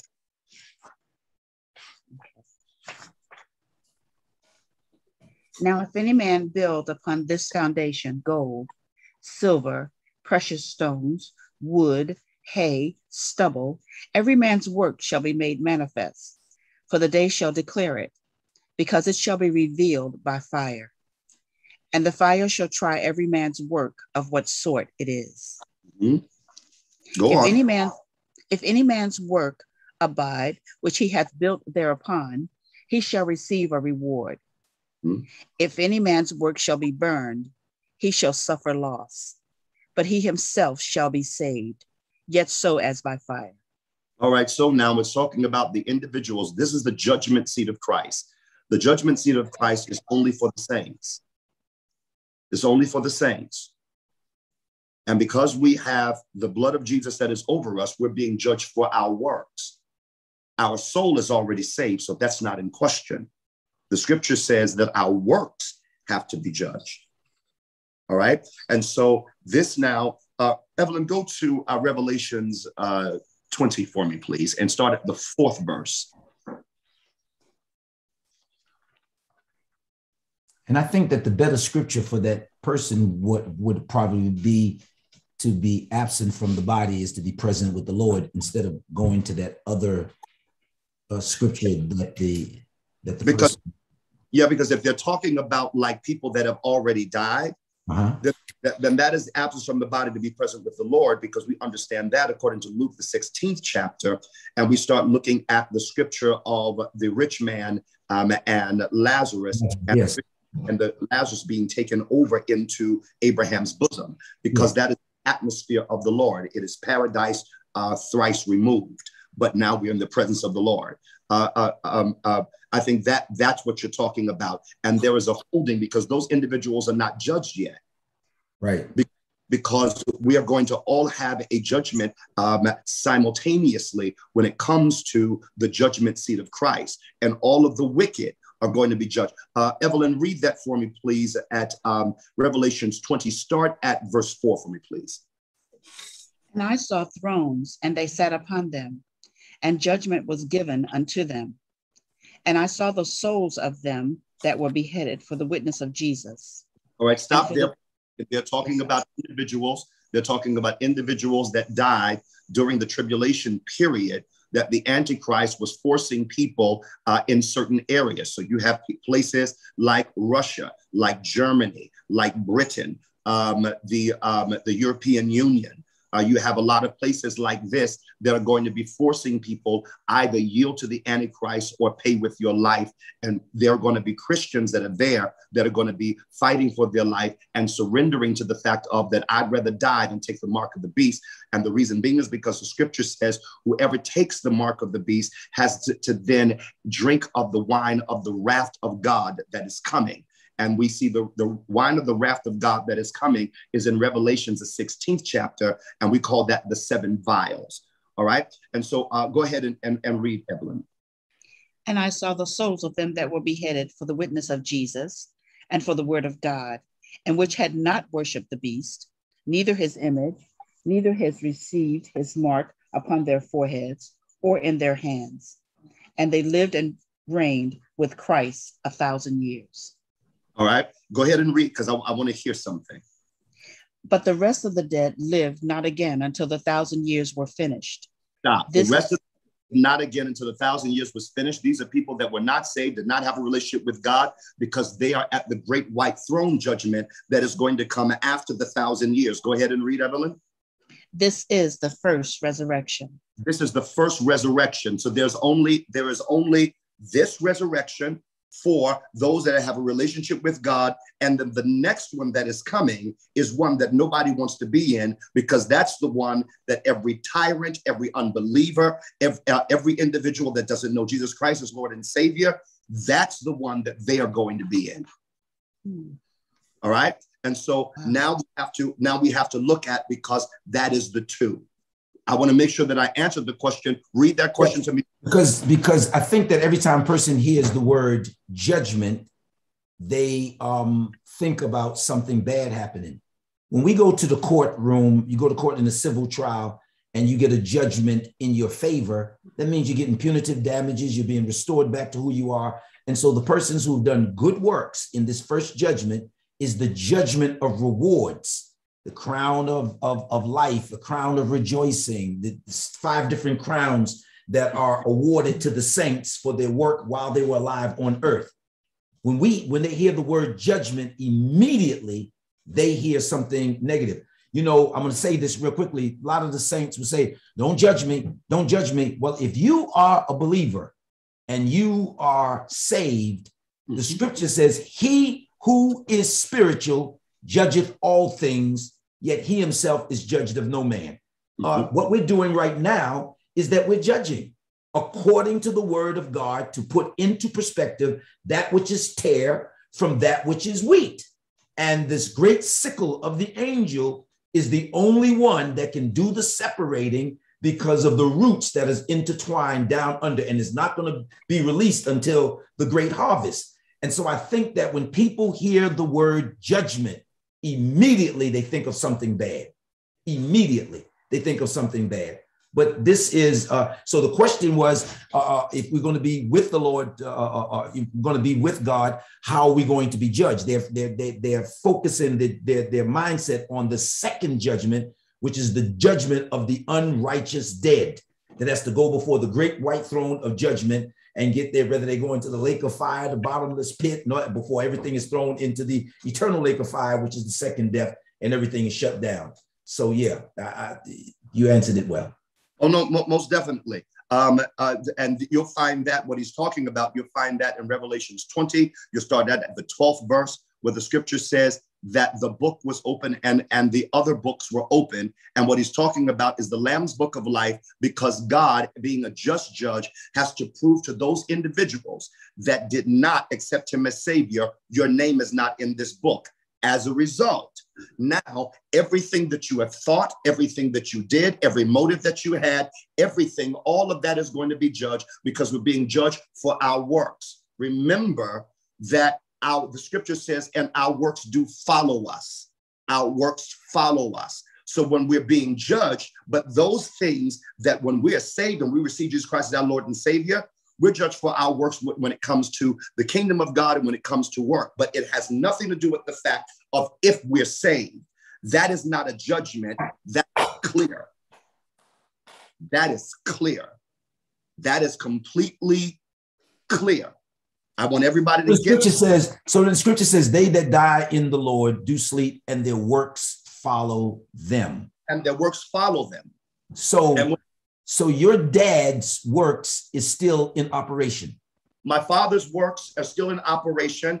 Everybody in the scripture, Paul's work is still in operation. Jesus' work is still in operation. Never. Abraham's work. Day in the morning. All of it is still in operation. You can't judge people that have died cannot be judged because their works are not finished. Good day in the morning.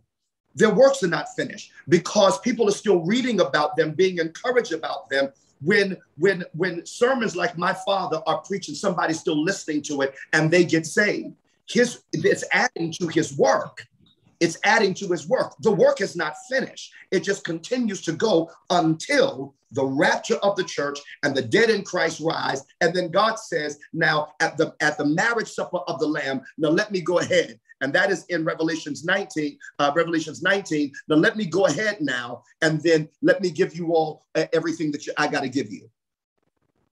See, that's what that's talking about. The works are not finished. Next question. We got to get some questions in there, but brother, who tadaba? It's true. It's true. It's true. You know, um, um, my cousin got saved by John McGee. John McGee does the, the, the, the, the walk through the Bible. Uh-huh. John McGee died in 66, but he's on the he's on the Moody Bible study. And every single day they come on reading uh, uh, what? And his works do follow. Your works are going to follow you because when you are a winner of souls, then you're going to get crowned for being a winner of souls. But your body does not have to be here for you to be winning because word is spirit and life. As long as people are getting a word from you, your, your works are being judged. And once those works are being judged, you get the benefit of that. There are some individuals that have won more people to the Lord after they die. That's a fact. Their, work, their works continue. Mm-hmm. You've, you've got, you've got, Bishop Patterson right now. Is still on television and people are still being empowered. People are still being saved. Healed. The man is already gone, but his works is works. And we can name them over and over again the power of their works. I'm sorry, Bishop. Next question. Mm-hmm. Question. Mm-hmm. Let's do another question. Did God know that Adam and Eve would sin in, in the garden? They said, My Jehovah Witness client believes God didn't know. Uh, if God did not know, then he's not God. What do they define as God? The word God is theos. The word God means omniscience. He's omniscience. That means he's all knowing. And obviously, he knows more than the person that told you. Please note, God always knew. And that's why he prophesied. The first prophecy is actually in Genesis, the third chapter, in the 15th verse, when the Lord speaks to, to the serpent and tells the serpent that the child that comes from the woman will bruise his head. He's not talking about mankind, he's talking about Christ. Yeah. That's what he's talking about. He's talking about Christ. God did not know before the before the foundation of the earth god knew everything we came out of god how would god not know god they're, they're, they're, they're viewing god from a very limited point of view i feel sorry for the person that is a jehovah witness that has that level of ignorance that they're willing to speak it out loud question was it stated according to Revelations 18, verses 1 through 4, that the church is split between Revelation church versus false church? Can there was a, so say it again now. They just asked, can you please give them clarity? All right, there's a true church and there's a false church. The true church and the false church are simply this. Uh, but and you're talking about Revelations 18, 1 through 4. Uh, when you deal with Revelation 17, uh, Revelation 17 has Revelation 17 has 18 verses. In that 18 verses, it talks about um, the, the mystery of the false church. It deals then with its colors. His colors is blue, uh, his colors is scarlet, and his colors is purple. It deals with the harlot that sits on the beast. What it's talking about ultimately is the Catholic Church. Yes. The Catholic who violated God when violated Jesus when they said that you must be saved in the name of the Father, Son, and the Holy Ghost, but not in the name of Jesus that Paul that Peter was talking about in Acts the second chapter uh, and the 38th verse. And so when you're dealing with, so that's what it's talking about. It's revealing then that this false church and false doctrine is going to come together in such a unification that the true church will be, some people in the true church will be sucked into the doctrine. And all of this is going to happen before the um, the false prophet tells everybody or pushes everybody then to take the mark of the beast that is understood in Revelation the 13th chapter, the 16th through the 18th verse. The Bible says in Revelations 18 and 4 for the true church to come out of her so that you are not a victim of what's going to happen and what's God what God is going to do. That is the understanding of the true church and the false church. So you believe that the uh, um, so so who what is who, what is the true church? The true church are those individuals that understand that Jesus died on the cross. He was buried three days and rose with all power in his hands, according to uh, 1 Corinthians, the 15th chapter, verses 1 through 4. The next thing that we have to know about the true church is understanding the, the true understanding of Acts 2 and 38 because when we understand that fully, then we embrace the fact of the true power and the authority of Jesus Christ. Then we have to understand that we must call his name. At the name of Jesus, every knee bow and every tongue confess that Jesus is Lord. The name that when you say name of the Father, the Son, and the Holy Ghost, you're asking, what is the name? What is the name? If somebody says, what is the name of your pastor? You can't say pastor. You must say Bishop Bloomer because he is that is the name of your pastor. When you say Father, Son, and Holy Ghost, what is the name of the Father, Son, and the Holy Ghost? Jesus is the name of the Father, the Son, and the Holy Ghost. Absolutely. You know, I have no problem with that at all. I have no problem with that at all. But I think that I think that um, the piece that you touched on, and I won't go any farther than, other than the statement, but the piece that you touched on uh, Revelations, I think is Revelation 17, that uh, uh, begins to reveal the whole colors. And we see that if we go into the infrastructure of the Catholic Church and how it has merged into our uh, uh our uh, if Protestant, if you would, uh, the colors of the bishops and with all the different colors and so on and so forth like that of, of, of that Reformation, we can see how God was speaking. I see the white horse as Catholicism, the red horse as communism, the black horse as the e- economy, and that pale horse as wars, rumors of wars, and that uh, that uh, uh, uh, pestilence and disease and so on and so forth. We can see it in the hoofs of the four horsemen of the apocalypse, and many people uh, don't understand the difference between the false church and the true church, and I thought that was explained well. Question. Uh, during the last World War, would it involve bio warfare and that one third of the world would be killed? Is that an additional one third to those that have already been affected by COVID, or is that one third separate? That one third is separate. And the reason being is because we're not in war yet with COVID. We're not in war yet.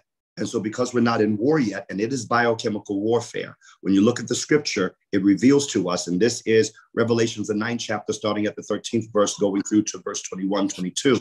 The Bible reveals to us men that dies by these plagues, that plagues is biochemical warfare because there are three elements of that plague it is brimstone, it is fire, and it is smoke according to that particular scripture. Anybody can take a look at it and see what it says. So that biochemical warfare, war then has to be, you have to literally declare war.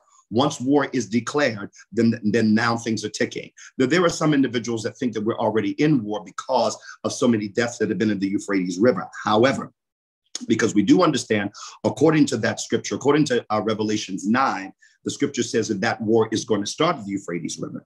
All right. So we know then the countries that are surrounding that. We have Turkey, we have Syria, we have Iran, we have Iraq, and we have all of the countries that are supporting um, those. So we know that that war is coming. Right now, um, just very recently, it was China because China now is not only building a strong military, but they're also selling a lot of weaponry. They just sold one of the largest warships that could be purchased to Pakistan.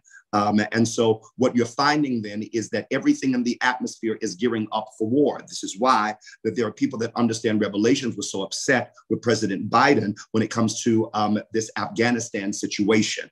And the reason being is because what you're doing is you're allowing then a lot of weaponry, even though they said, well, um, a lot of that is has been uh, disabled. Truth of the matter is, if we didn't have enough power and enough manpower to protect the people that we have there, how do we have enough manpower to disable uh, all of the military equipment that we had there for over 20 years?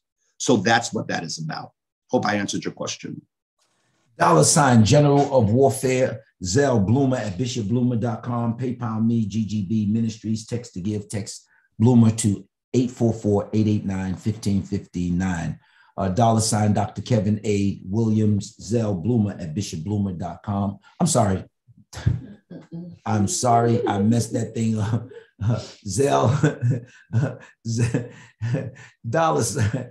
That's what happens when you look away from the screen. It is in, in my head. All right, dollar sign Dr. Kevin A. Williams, Zelle, Dr. Kevin A. Williams at gmail.com, not at bloomer.com, at gmail.com. Mail to 1822 Shop Road, Greensboro, North Carolina, uh, 27406. Split the seed, wrap these two anointings around your seed, and double the impact. Everybody ought to be sowing. Everybody ought to be sowing and ought to be releasing today in Jesus' name. Amen. Question. Okay, so this is like a two part question.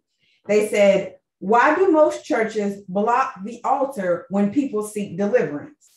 And the second question is, why don't you see spirits being cast out if people have a deliverance, healing, or prophetic ministry? Uh, the first, the first question: Why do a lot of churches block the altar when people are seeking deliverance? Because everybody that is coming to the altar is not seeking deliverance. Sometimes they're seeking a platform. Sometimes they will jump up on the pulpit or the platform, and so security nowadays has to be prepared. Um, you can look online right now while um, in Iran, a speaker is speaking. A man walks past security, walks up on the on on the stage, and slaps the man as hard as he can. You've had um, in uh, Oklahoma, the uh, the pastor is dead now. You had while he was laying hands on the sick. Very good friend of mine. Yes, mm-hmm. and literally just punched him. That's why. Mm-hmm. Uh, that's why security is now at the church because you have demons fear God but people don't fear him and demons are in people that don't fear god and that's why a lot of things happen and take place that's the that's the answer to your first question and that's why handling the altar has become a has become a um, a technique has become a technique. What is the next question, Benita? Uh, the, the next question to, that you, that you said. Um, the next question was, why don't you see spirits being cast out if people have deliverance, healing, or prophetic ministries? Well, there are two there are two answers to that. The first answer is is that sometimes spirits are being cast out as the word is being preached. The Bible reveals to us that as Jesus is preaching the word of God in the synagogue, there's a, a spirit actually said, "Let us alone," because the spirit now is being impacted by the authority of the word. So when the word is being preached, or an atmosphere um, of praise and worship, according to according to uh, First Samuel, uh, give me a minute. According to First Samuel, the uh, 16th chapter, good. According to First Samuel, the 16th chapter, the scripture says that David had to go in unto Saul and play his harp, and then the demon was released. So demons cannot can be released by more than just speaking directly to them. Sometimes music can be played. Sometimes the preaching of the gospel can be done. That's the first stage of that. The second stage, and that is that there are people that don't know how to cast out demons. There are people that should not try to expel demons. The Bible says in Acts, the 19th chapter, there were seven sons of Sceva, and the seven sons of Sceva decided they were going to try to cast demons out, and the demon beat their clothes off. Ran them down the street naked. So you don't want to tackle a demon if you don't know how. I know a very popular pastor. If I called his name, a great number of people would know exactly um, who he is. His church seats over 3,000 people. And he made the statement while he was pastoring. He says, I did not cast out demons because they didn't respond to me. They responded to my wife. I never would have said that publicly, but yet and still, he said that and anytime somebody had a demon, he told his wife to deal with it because he knew he did not have the authority I don't know if the demons didn't respect him. I don't, I don't know if he didn't know how to do it. Just, you know, uh, but whatever that is. So there are some people, and I, I would, I would say that it is wisdom that if you don't know what you're doing and somebody is not there to, to guide you, right? I, if, if somebody is training, if as long as you have somebody there that knows how to handle it, then you can train up under that person. But if you're, if you're there by yourself, if something goes left, it's you and that spirit. Now you become the sons of Sceva, and almost anything can happen. There have been people that have tried to get demons out. If you look at the movie The Exorcist, if you remember at the very end of it, all of the priests died. And the reason being is because if you don't know what you're dealing with, something can happen and consume. And the Catholic Church has a whole different realm when it comes to exorcisms and things like that. And we can talk about that at another time. So that's why you really don't see it that often. Um, if a demon raises up his head at certain churches, um, then you will find if you raise up his head at our church, raise up his head um, at Bishop Bloomer's church, and I can name a whole bunch of churches, the demon ain't got a chance. But then you can raise up, he can raise up his head. I almost called some names. You can raise up, raise, raise he can raise his head some mega churches, and those pastors will tell you, I don't deal with that. They don't deal with that. They're very popular. They sell a lot of books. But you have to think about it. In all the books that they sell, it ain't nothing got to do with casting out no demons. And they ain't even got no stories concerning casting out no demons. And the reason being is because they don't deal with that. And I think that if you don't deal with it, a mechanic ain't got no business being your dentist. Amen. Next question. Will people be born and also die during the 1,000 year reign of Christ? And if so, what will happen to them?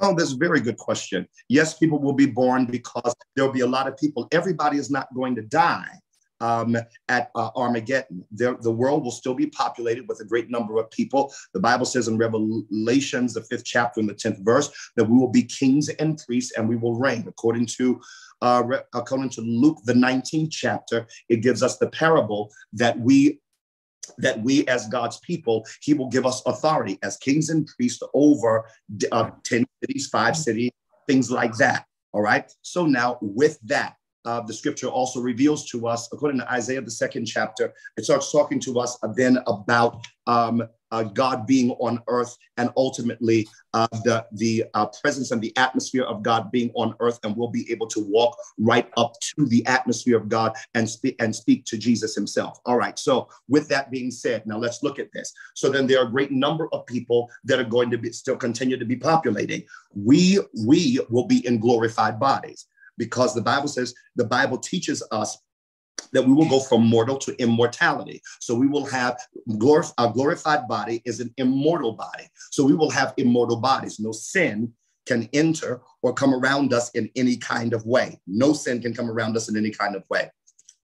With that being said, then when people when people that are mortals that are around us that are immortals and they have children, the Bible says that even and during that time that if they die at 100 years old, we'll say that they were only a child when they died. But when they die, where do they go? Now that's a very good question.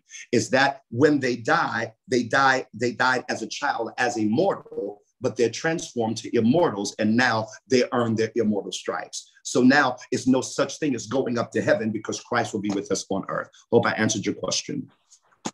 Dollar sign General of Warfare, Zelle Bloomer at bishopbloomer.com. PayPal me GGB Ministries. Text to give, text Bloomer to 844 889 1559. Dollar sign Dr. Kevin A. Williams, Zelle, Dr. Kevin A. Williams at gmail.com. Mail to 1822 Sharp Road, Greensboro, North Carolina, 27406. Split the seed. Wrap these two anointings around your seed and double the impact. If you have a question, put it in the chat. If you uh, if you like to speak to the man of God, raise your hand. Question.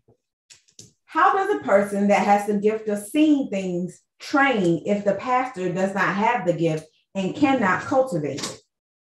Um, then uh, there are two ways to do that. Uh, number one, and that is that you can seek the face of God um, in order to do that. You've got to seek his face. He is the giver of the gift.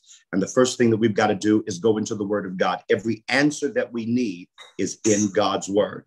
All right. If you if you're sick, you would get a prescription. If you if you want to grow, you get you you get it by prescription. So you get in the Word of God, you get the Scripture, you rightfully divide the Word of truth, and you study on the subject matter of your gift. The Bible talks to us and gives us an it's an incomplete list of gifts, gifts, but it is in First Corinthians, the 12th chapter, and the Bible reveals to us the types of gifts um, that he gives us. That's the first thing. The second thing is, is that by clearance, um, of a pastor, I can do I, the three ways. By clearance of your pastor, um, your pastor can allow you by permission. I, I, I appreciate pastors that operate in a level of integrity and people that operate in a level of integrity that says, hey, I would like to be trained for this particular reason. Not trying to leave your church, not trying to do any of that. I just want to train in my level of gifting. And if if you will allow me to, I would like to train up under this particular person that has that gift but my tithe and my offering still goes to my church, but I want to train up under them.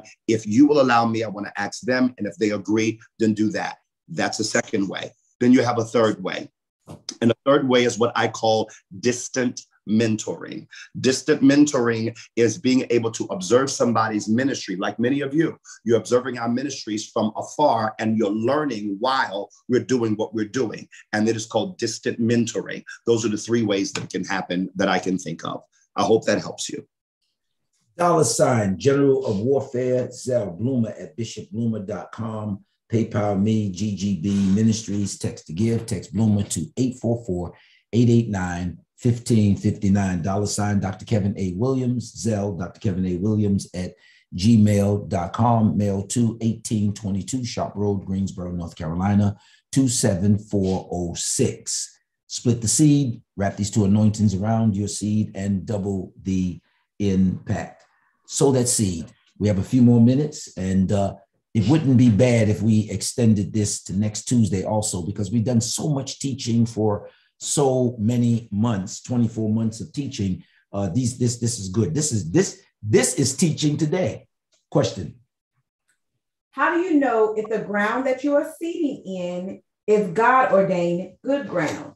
How do you know if you are fattening the frogs for the snakes? Um, um, the good ground, and it's it's very easy. The ground is not good if nothing is growing, or the ground is not good if the fruit is poison. The Bible says you'll know a tree by the fruit that it bears. So if the fruit is poison, there is an area that is uh, in um, there's an area that is in Africa that had um, a um, there was poison in the water. The water was contaminated with something. Well, when the water was contaminated, it was irrigating crops and things like that. That means all the fruit was contaminated. And that means they, even though the fruit looked good, it had to be destroyed. In uh, Chernobyl, um, at the Chernobyl incident in 1986 in Russia, there was fruit and things go, growing, but it was contaminated by radiation. And so you can't eat that fruit. And so you have to know.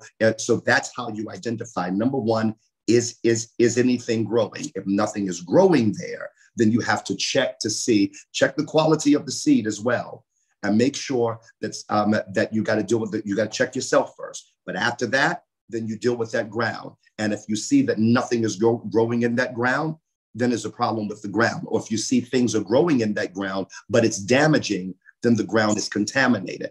The Bible says that the prophet um, Elijah, uh, he had to, what he had to deal with one time, there was water. The scripture says that was contaminated. He had to take salt, put it in the water because the water was causing miscarriages. And so, what you have to do is you have to look at the fact that sometimes um, it's being irrigated wrong, and irrigation means the wrong spirit is, is, is moving because water always represents the Holy Ghost. But if water represents the Holy Ghost, pure water, moving water represents the Holy Ghost, then false water represents something else. Next question. Wow. Um, they asked, Um, what is the difference between the second advent of Christ and the rapture? What is the difference between the second advent of Christ and the rapture? I would like for them to give me a little bit more context to it because ultimate. Well, let me speak to that because uh, I was raised as a seven day Adventist. Mm-hmm. And so mm-hmm. that's where that teaching comes from. So, seven day Adventists uh, uh, believe in the second coming of the Lord Jesus Christ. Uh, the uh, the Pentecostal or non non Adventist church Advent churches believe in uh, the rapture. So the Adventist church uh, believes that we're going through the tribulation period. They don't. They're not a part of no rapture situation. They believe exactly what you're talking about, and they call it the second. Uh, they they call it the uh, um, the advent of, of, of Christ. So that's what they call. So if we if, if we if we were to have elders of the Adventist church having this discussion with you, and you start going down through the scriptures, Matthew's 24, Matthew's 13, Revelations 14, uh, the, the scriptures that, that the reason why I'm quiet because I can follow you. Uh, uh Revelations 9, Revelations 20. we go down the line to all the things we discussed.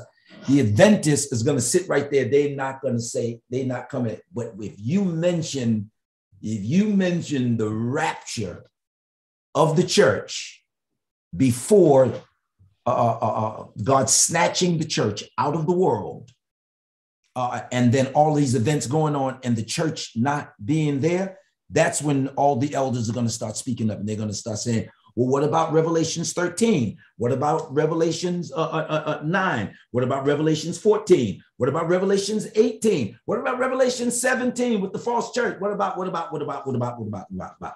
So the, uh, the uh, non event churches believe or have been taught that the rapture is when God comes for the saints. And the second coming is when Christ comes with the saints. For the Bible says, and the Lord shall return to the earth, and the saints shall be with him. So they use the teaching on the rapture to say that he's taken the saints away, did the whole judgment thing there, and then came back, and the saints will judge the world. So that sounds like an Adventist I don't know if it's an Adventist person to ask the question, but it sounds like someone that's been exposed to Russellism, which is Jehovah Witness, Adventism, and then uh, maybe situated in a Pentecostal uh, uh, uh, in Pentecostal church. I, I, I think the um, that's that that's the question that's before us like that. All right, so that question I, like. I would say that uh, with with that with with what Bishop just said, I would think that people would understand that you cannot separate um, you cannot separate the revelation of God. And so, what I would say is that the rapture of the church is going to, according to the scriptures that I've given you before, the rapture of the church, the Lord is going to take the church out. But when He takes the church out, this is this is right before the battle of Armageddon. This is right before the battle of Armageddon. How do we know that? One of, one of the other reasons that we know that is because in Revelation of the 11th chapter, um, the in Revelation of the 11th chapter, it talks about two witnesses. And those two witnesses are going to give the Antichrist a lot of problems for three and a half years.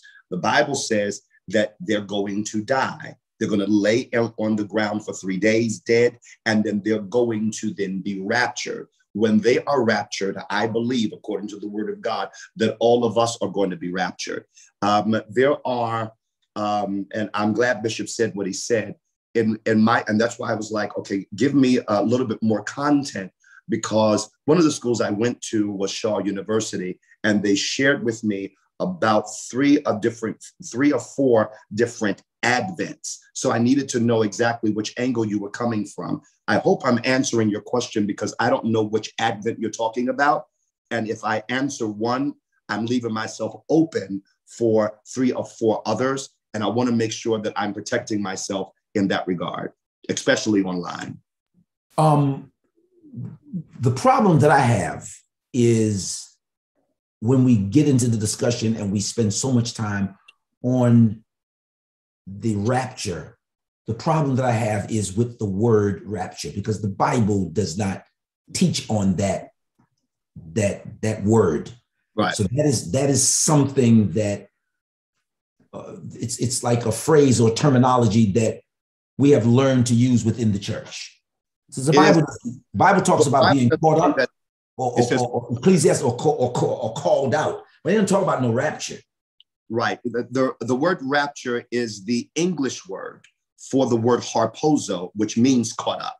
Yes. So it, it is nothing more than an English word. Is that English word in there? No, it's not. No. There's hmm. a lot of English words that are not in the word of God. So we have to find the description of that word. And the description of that word, the English word rapture, is the words caught up, which is the word harpazo, which means taken out or taken up. That's yeah. what it is. And I like to uh, pull up the definition of, of, of, of, of rapture. When um, we go into that same thing when we dealt with the issue of judgment and mm-hmm. now uh, uh, event versus uh, versus rapture.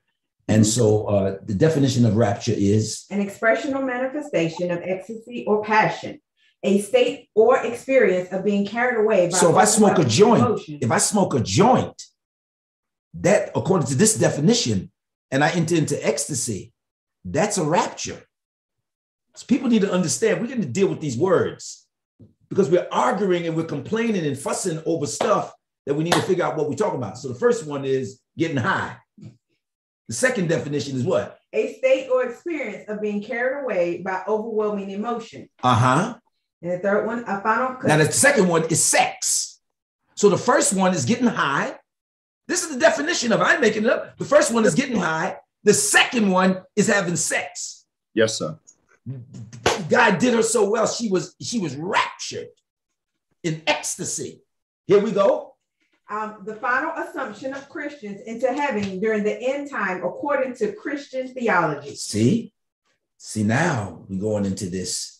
What you call it? And then it says it doesn't say according to the Bible. It says according to Christian theology. And the problem I have with theology is that theology is supposed to be the study of of God. Mm-hmm. But, uh, uh but, what most uh, uh um, um, most uh, uh, his, uh, historians and and and um, and uh, um, forget the names slipping me right now because I'm on this rapture thing here. Uh, theologians, uh, when they approach theology, it's the study of the theory of God. When when we we talk about theology, we're actually talking about God. We're mm-hmm. talking about God. When they study those, those theologians, they study they study uh, God. They study God from acts, mm-hmm. acts of God, and it's always bad. Even in your insurance policy, they have these clauses, such and such and such a thing, and the act of God, like a, a, a hurricane or something of, of, of, of, of that way. So we need to understand what is actually being said when a person is conveying it or, or, or speaking to us. So the rapture that that the church is referring to is a story that was told to them mm-hmm. written in several several books without any biblical scripture or back uh, or back into it. The real word there is caught out. And mm-hmm. when that happens and when that transpires, as far as we are today, it happens at, at, at the second at the seventh trumpet. Mm-hmm. And so we would have to follow the trumpets through to find out where the seventh trumpet is going to blow. Mm-hmm. Now, you're not going to have a problem uh, with uh, the Adventists because they believe that the seventh trumpet is the advent, the second coming of the Lord. They believe the Lord already came once and he's only coming back one more time. Mm-hmm. And that's for the church. If the sec- if if the advent, if you are defining the advent as the second coming of the Lord, then I want you to take that second coming of the Lord and know that we believe in the second coming of the Lord. But the second coming of the Lord is one event. The rapture happens right before the Battle of Armageddon because the Antichrist is going to be at its strongest the 10 horns are going to give the uh, Antichrist more influence and power to now have to go after Israel because for the whole three and a half years, they don't go after Israel. Armageddon is when the world forces come in and invade Israel when they had not for all of this time. And these the scripture says there are 10 kings and they have been given power for one hour, which means a short time. That's when we know that now the Lord is going to be coming soon. The rapture takes place. We have the marriage supper of the Lamb, and then the second coming of Jesus is going to take place and happen. And that's where that's where the Adventists fall off at in that little part right there because they don't see the rapture as a part of the event.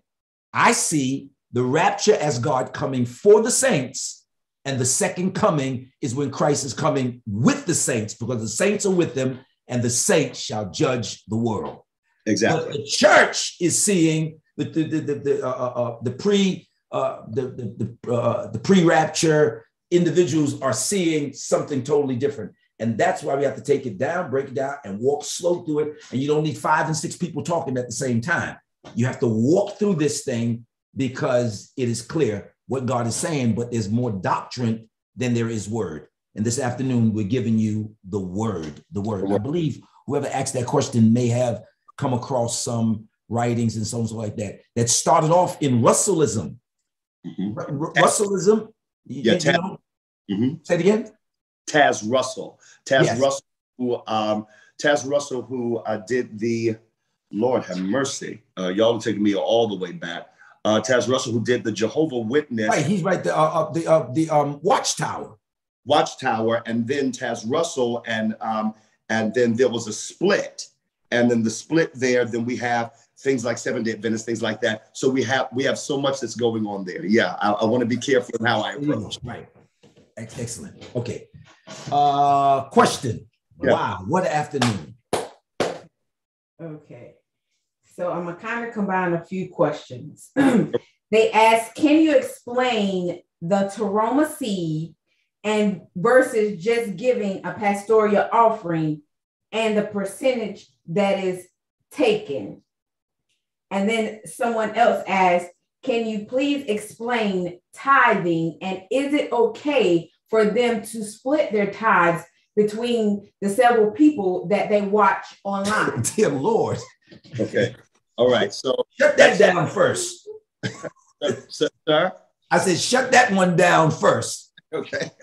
All right. No, you cannot split your tithe. Um, your tithe that goes into the storehouse where you're getting the word of God, your local church that you are committed to. All right. And so it doesn't matter how many people you watch online and things like that. What is your local church? Whatever your local church is, is where you tithe. Now, if you want to give another church an offering, it's okay to give them an offering, but your tithe and your offering, your original tithe and the offering goes to your church. If you want to give, um, if you're at a revival, if you want to go somewhere, you're at a conference, you want to give an offering, that is fine. But your tithe, according to uh, Malachi, the third chapter, goes to your local church. All right. So let's deal with that. The next thing, and that is that if you want to give your pastor an offering, um, his, his anniversary, his appreciation service, all of those different things, that is an offering that you give them. That's a donation that you give them. If the Lord touches your heart, you want to give them something, that is fine. A teruma seed.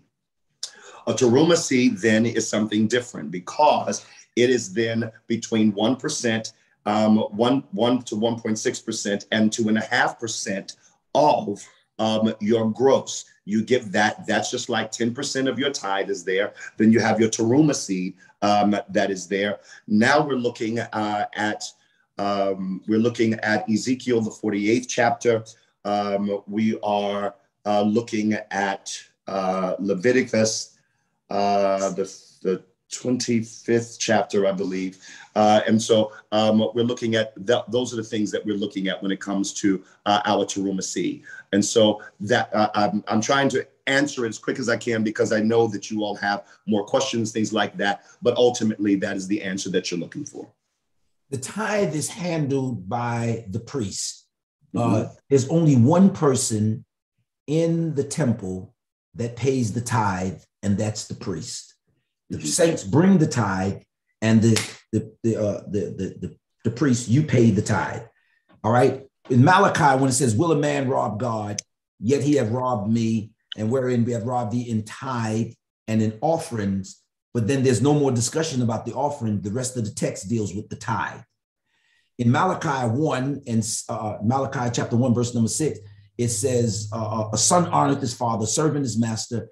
If then I be your uh, uh, your master, where's my fear? If I be your father, where's my honor? Uh, you, uh, they says, where have we dishonored you? He says, you offer polluted bread upon the tables of the Lord. Mm-hmm. priests that despise my name. A lot of the tithing thievery is not coming from the people, it's coming from the priest of those houses. And mm-hmm. so when he was talking about what, what constitutes a good soul from bad soul, and how do we know that we're fattening up the frogs for the snake? Right. Um, uh, God stands in covenant with the person who brings the tithe and he does something there. But he mm-hmm. also holds the person who handles the tithe, uh, calls those, that, that's the one that's the crook, the robber, and have cursed the entire nation or the entire temple is cursed because of the handling of the tithe. When you start talking about going after a piece of property and uh, uh, uh, uh um, pay pay for it from March to what you call that's on that Instagram piece that there's a that's that's that's the result of tithe being handled well. Mm-hmm. It's the result of it being offered up to God so that God can multiply it by defeating or by uh, devouring the devourers, by showing you how to test the soil so that your grapes does not yield before it's time in the field. Has the, the devourer is rebuked. All of this comes out of our spiritual utility bill, which is the tithe. If you do not pay Duke power, I don't care how much tongues you speak in, the lights are not going to come on. But Duke does not give you lights, although we call it a light bill. Duke gives you electricity. And everything that needs electricity is illuminated when you flip the switch. The blender works, the microwave works, the oven works, the washing machine works, the lights come on. All of that happens.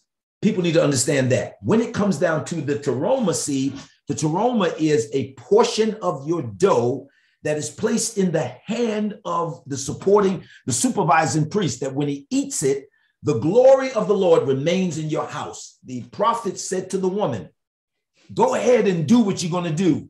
But I promise you, if you make me a cake 1st mm-hmm. whatever was going to come will not be able to come. And for seven years, they ate out of the bottom of the barrel. And people need to understand that they need to understand that tithing traffic is handled by the supporting priest of the household. You cannot go and give your tithe to the guy who's under the bridge.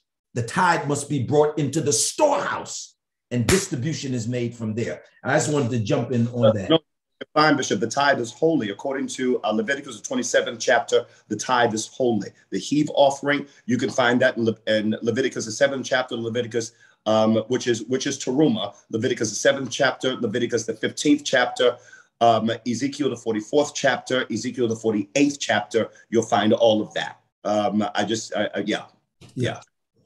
Question. So if I am a person that does not have a local church and I only just watch people online, but I still want to be correct with my tithing, what do I do to, you know, stay in the right teaching?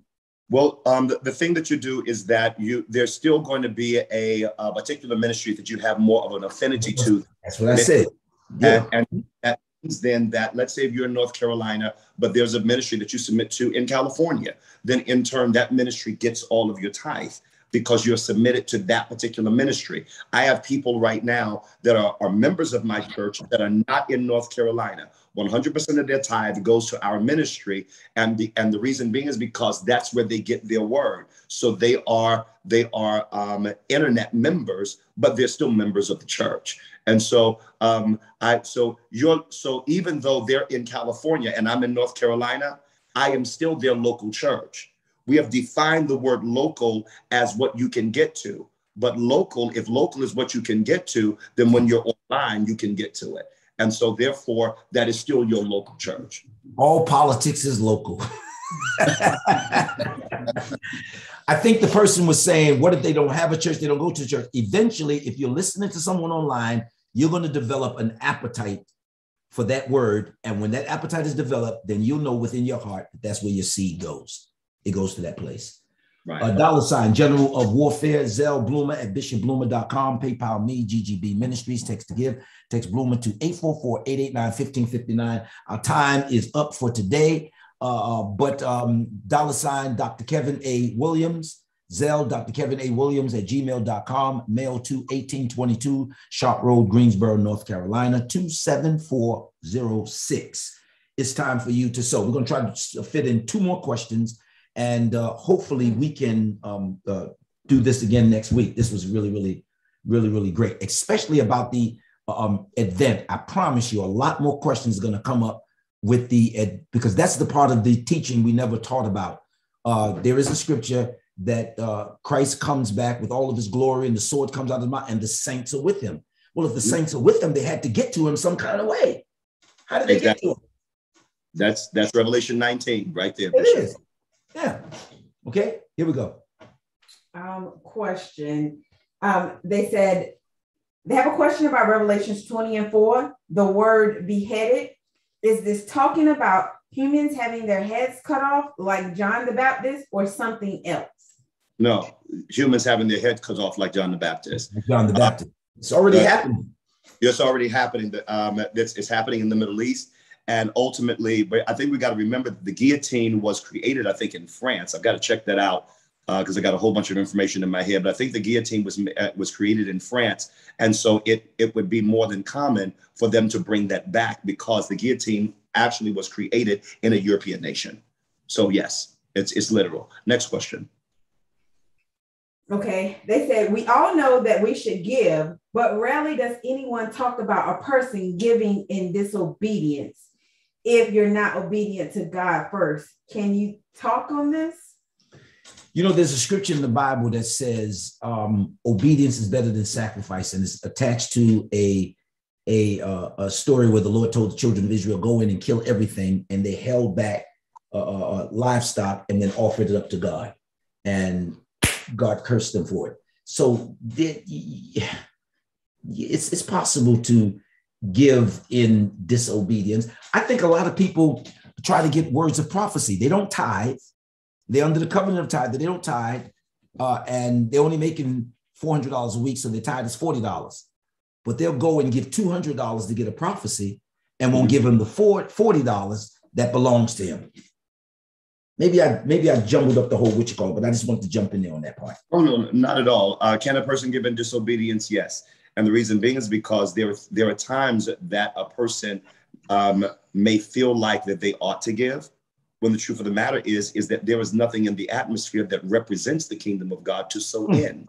Mm. So you're you're you're giving in that atmosphere. If I went to an atmosphere and it did not represent the kingdom of God, why would I sow in that atmosphere? So I would be giving in disobedience. God does not want us.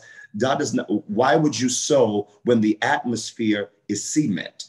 And so there is there is nothing for the seed to do but to die.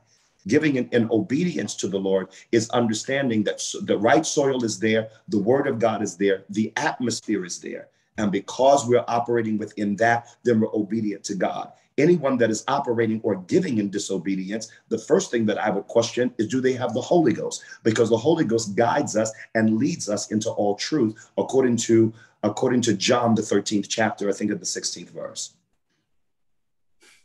Next question. Woo.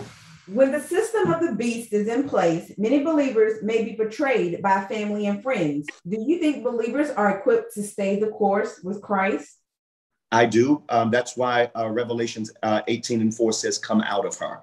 Um, I do believe that they'll be able to stay the course. I do believe that there's going to be a strength that is there, and believers are going to finally get a backbone because right now we got a whole bunch of believers that are jellybacks. So I believe that they're going to get a backbone at, because at that point, it's either you believe God or you don't, because the Antichrist is not going to be playing with you. If you go into the wrong atmosphere, you can get killed. And so that is going to when when when it's a life or death situation, oh, you you it, it, it's it's going to be something that is very different. Next question. I'm trying to answer as many as I can before we get out of here.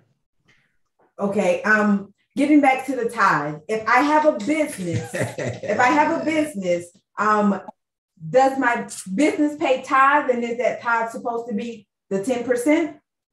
Um, businesses are different. Uh, you can still tithe when it comes to your business, but you have to understand that the business's gross is different than a person's gross because, and then you have to look at how is the business? It is an LLC, S corp, is a C corp. You have to look at how the business is structured. So businesses are very different because the gross aspect of it is different.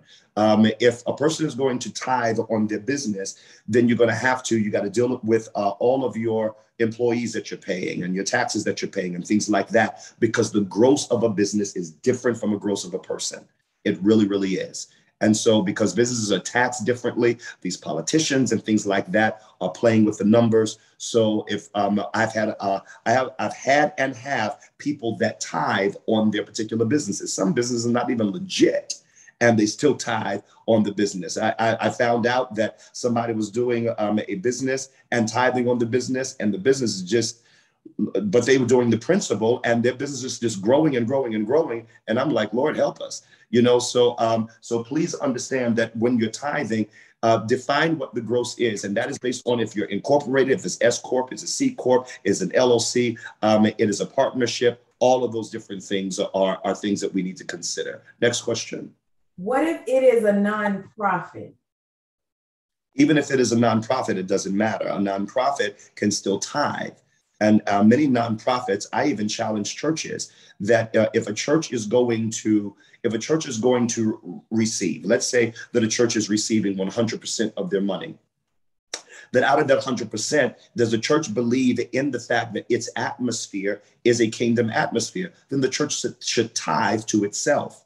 And that means that 10% should be taken out, put into another account so that in turn that that account is building in a different kind of way. From that account then something could be done concerning kingdom things. Tithing is a principle that just simply works. Yeah and that's what, I, that's what i'll do. 10% of everything that comes in our church goes into another and we we we sew up. We're able to help other ministries. We're able to do other things. And then uh, uh, uh churches that are under our uh, covering under clerk uh, many of them will tithe the tithe from the ministry. Some some of the bishops actually tithe or pastors tithe their tithe to to our our ministry, and it goes into that account. So yes, those in, in terms of the, the whole church structure, tithing it, it just works. But you said that the person's business, some of the business, uh, which business uh, uh, um, is not in order, yet they're blowing up because the principle of the tithe will cause things to grow in areas that just blows your mind. Yeah, I got I got to tell you this business that's blowing up that I'm like, Lord help. But it but the principle is just the principle. God's word works. The principle. Okay. Um, they said there are times when I am around certain people that I will smell certain odors. I heard a teaching that it was connected with discernment. Can you elaborate more? I think the teaching is talking about foul spirits. If you look at Mark 9 25, Evelyn, would you look at Mark 9 25 for me, please?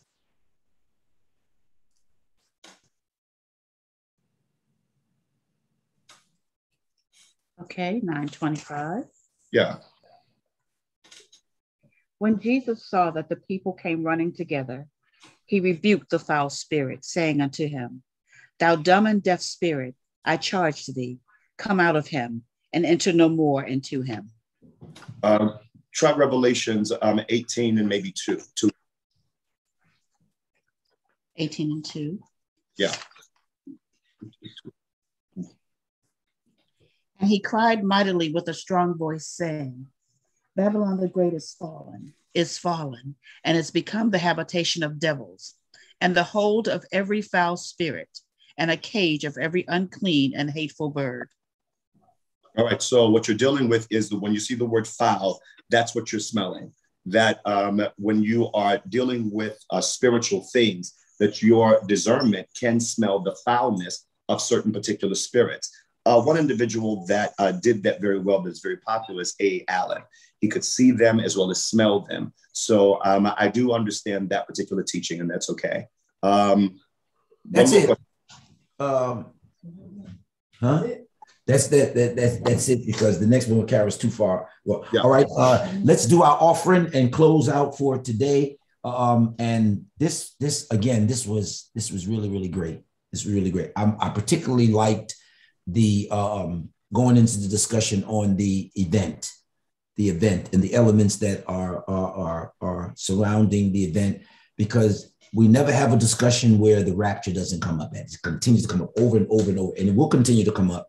So we have to but this was the first time we actually went into the uh the, the the the Lord coming for the saints and the Lord coming back with the saints. That was good today. Um, dollar sign General of Warfare, Zelle Bloomer at bishopbloomer.com. PayPal me, GGB Ministries. Text to give, text Bloomer to 844 889 1559. Dollar sign Dr. Kevin A. Williams. Zelle Dr. Kevin A. Williams at gmail.com. Uh, uh, mail to 1822 Shop Road, Greensboro, North Carolina, 476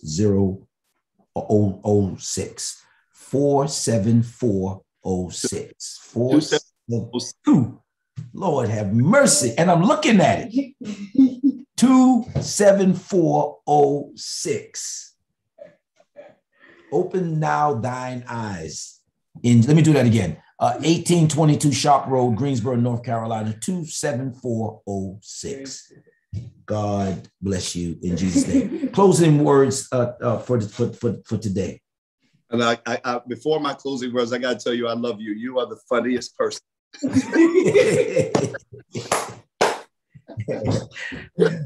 are the funniest person. I mean, I tell you, uh, people of God, we've had such a good time today. And uh, you know, to be able to open up and just answer questions, uh, and we don't fear. Um, we really don't fear for one reason.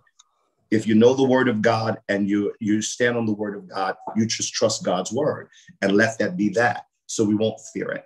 Um, maybe Bishop Bloomer, if he wants us to do it again, then we'll do it again. We'll explain what we got to explain. We get into the word of God. We give you scripture that supports that so that um, no one can say that's not in the Bible. Um, because there are a lot of people that are telling you things ain't in the Bible and they won't prove it. And so um, we're here to prove it. Uh, as you sow, understand that when you sow, the favor of God is going to be released in your life and you're standing on good ground. And if it wasn't good ground, you would not see the fruit in your knowledge. You would not see the fruit in your understanding. You would not see the fruit in your declaration. This is good ground, and the fruit and the harvest is there. I thank you for your time. I ask you if you would connect with me on Instagram, and and um, my book. You can purchase my book. Um, day in the morning. They better get this book. They better get this book. God science is a God science is a monster of a book, and Bishop Bishop has, has yeah Bishop has seen the book. You, you, you need to get this book. This book is uh, Dr. Kevin A. Williams, uh, godsscience.com. Uh, and uh, you'll be able to get it there or either Amazon. And um, the 12th is when you can order the book. And Bishop, they Amazon messed around and they opened the portal and didn't realize they opened the portal. And I've got a whole bunch of people that got the book early. Jesus. And they figured out what they did and closed the portal. But this group of people ended up getting the book and they are flipping about this book but you need to you probably need to return the book because they they missed some things in the book that they had to put in there that's why the mistake was made concerning the portal wow. so those that got the book early you still don't have everything you still don't there's certain details you don't have so you still need to go ahead and order the book please order the book. It'll be a blessing to your life. Wow, wow, wow, wow, wow, wow. Okay, uh, we're going off the air now, but I would just like for those of you, let me, you got us, my number? Uh, for those of you uh, uh, uh, uh who are watching, there are several of you, you listened today, you didn't move in the area of giving. I want you to put your hand on a $30 seed, and I want you to do in the next three minutes, just go ahead and release that 30. He blesses 30, 60, and 100. I want you to release that $30 seed for the wisdom that was released this afternoon in the name of Jesus. 30, 30, 30, 30, 30, 30, 30, 30, 30, 30, 30, 30, 30, 30, 30, 30, 30, 30. Start right now.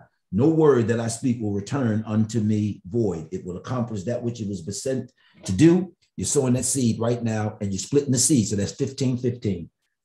Release it now. Dollar sign, General of Warfare. Zelle Bloomer at bishopbloomer.com. PayPal me, GGB Ministries. Text to give. Text Bloomer to 844-889-1559. A dollar sign Dr. Kevin A. Williams.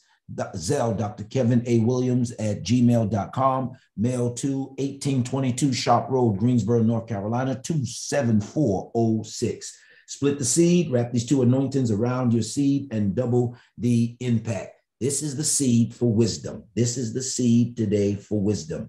For wisdom. Begin to release it now in the name of Jesus. Begin to release it right now in the name of Jesus. And we thank God for you in the name of Jesus. Dollar sign, General of Warfare. Zelle Bloomer at bishopbloomer.com. PayPal me, GGB Ministries. Text to give. Text Bloomer to 844-889-1559. Wow. Dollar sign Dr. Kevin A. Williams. Zelle, Dr. Kevin A. Williams at gmail.com. Uh, uh, mail 1822 Sharp Road, Greensboro, North Carolina 27406. In the name of Jesus, we thank you for your obedience. We thank you for your seed. We thank you. We thank you. We thank you. We thank you. We want you to continue to watch, get the book that he's talking about, follow on Instagram, and sow that seed in the name of Jesus. Those of you that are logging on uh, late right now and you're watching what you think is a rerun, it might be a rerun to someone who saw it, but for you, it's the first time, and God is requiring of you to hear and obey and release in Jesus' name. The paint on my door is blood. For I will pass through the land of Egypt this night, and will smite all the firstborn in the land of Egypt, both man and beast. And against all the gods of Egypt I will execute judgment. I am the Lord. And the blood shall be to you for a token upon the houses where ye are. And when I see the blood, I will pass over you, and the plague shall not be upon you to destroy you when I smite the land of Egypt. Exodus 12, verses 12 and 13. That's the covenant of protection. But your seed will speak for you today. And I'm believing God that a hundred of you are sowing that seed of $30 right now in the name of Jesus. Pulling the car over to the side, you're coming down the steps, you're asking the child to bring, because in this moment, in this final moment, God wants to download some things to you. Get your seed in the ground and let the rhema, the word that uh, Dr. Kevin Williams released in this house, fall on your seed today and produce a new level of faith in your life. 72 hours. Let's believe God for miracles. Dollar sign General of Warfare, Zelle Bloomer at bishopbloomer.com. PayPal me, GGB Ministries. Text to give. Text Bloomer to 844 889 1559 uh, dollar sign Dr. Kevin A. Williams, Zelle, Dr. Kevin A. Williams at gmail.com, or mail to 1822 Sharp Road, Greensboro, North Carolina, 27406. Split the seed, wrap these two anointings around your seed, and double the impact. That's the covenant of protection. The instructions are Come, my people, go home and shut yourselves in. Go into seclusion for a while until the punishing wrath is past, because God is sure to come from his place to punish the wrong of the people on earth. Earth itself will point out the bloodstains. It will show where the murdered have been hidden away. Isaiah 26, verses 20 and 21 in the Message Bible. Go home, shut yourselves in, sanctify yourself, sanitize your home, love your children, sow a seed, and worship God. Bishop George Bloomer. God bless you. See you tomorrow on Warfarecology.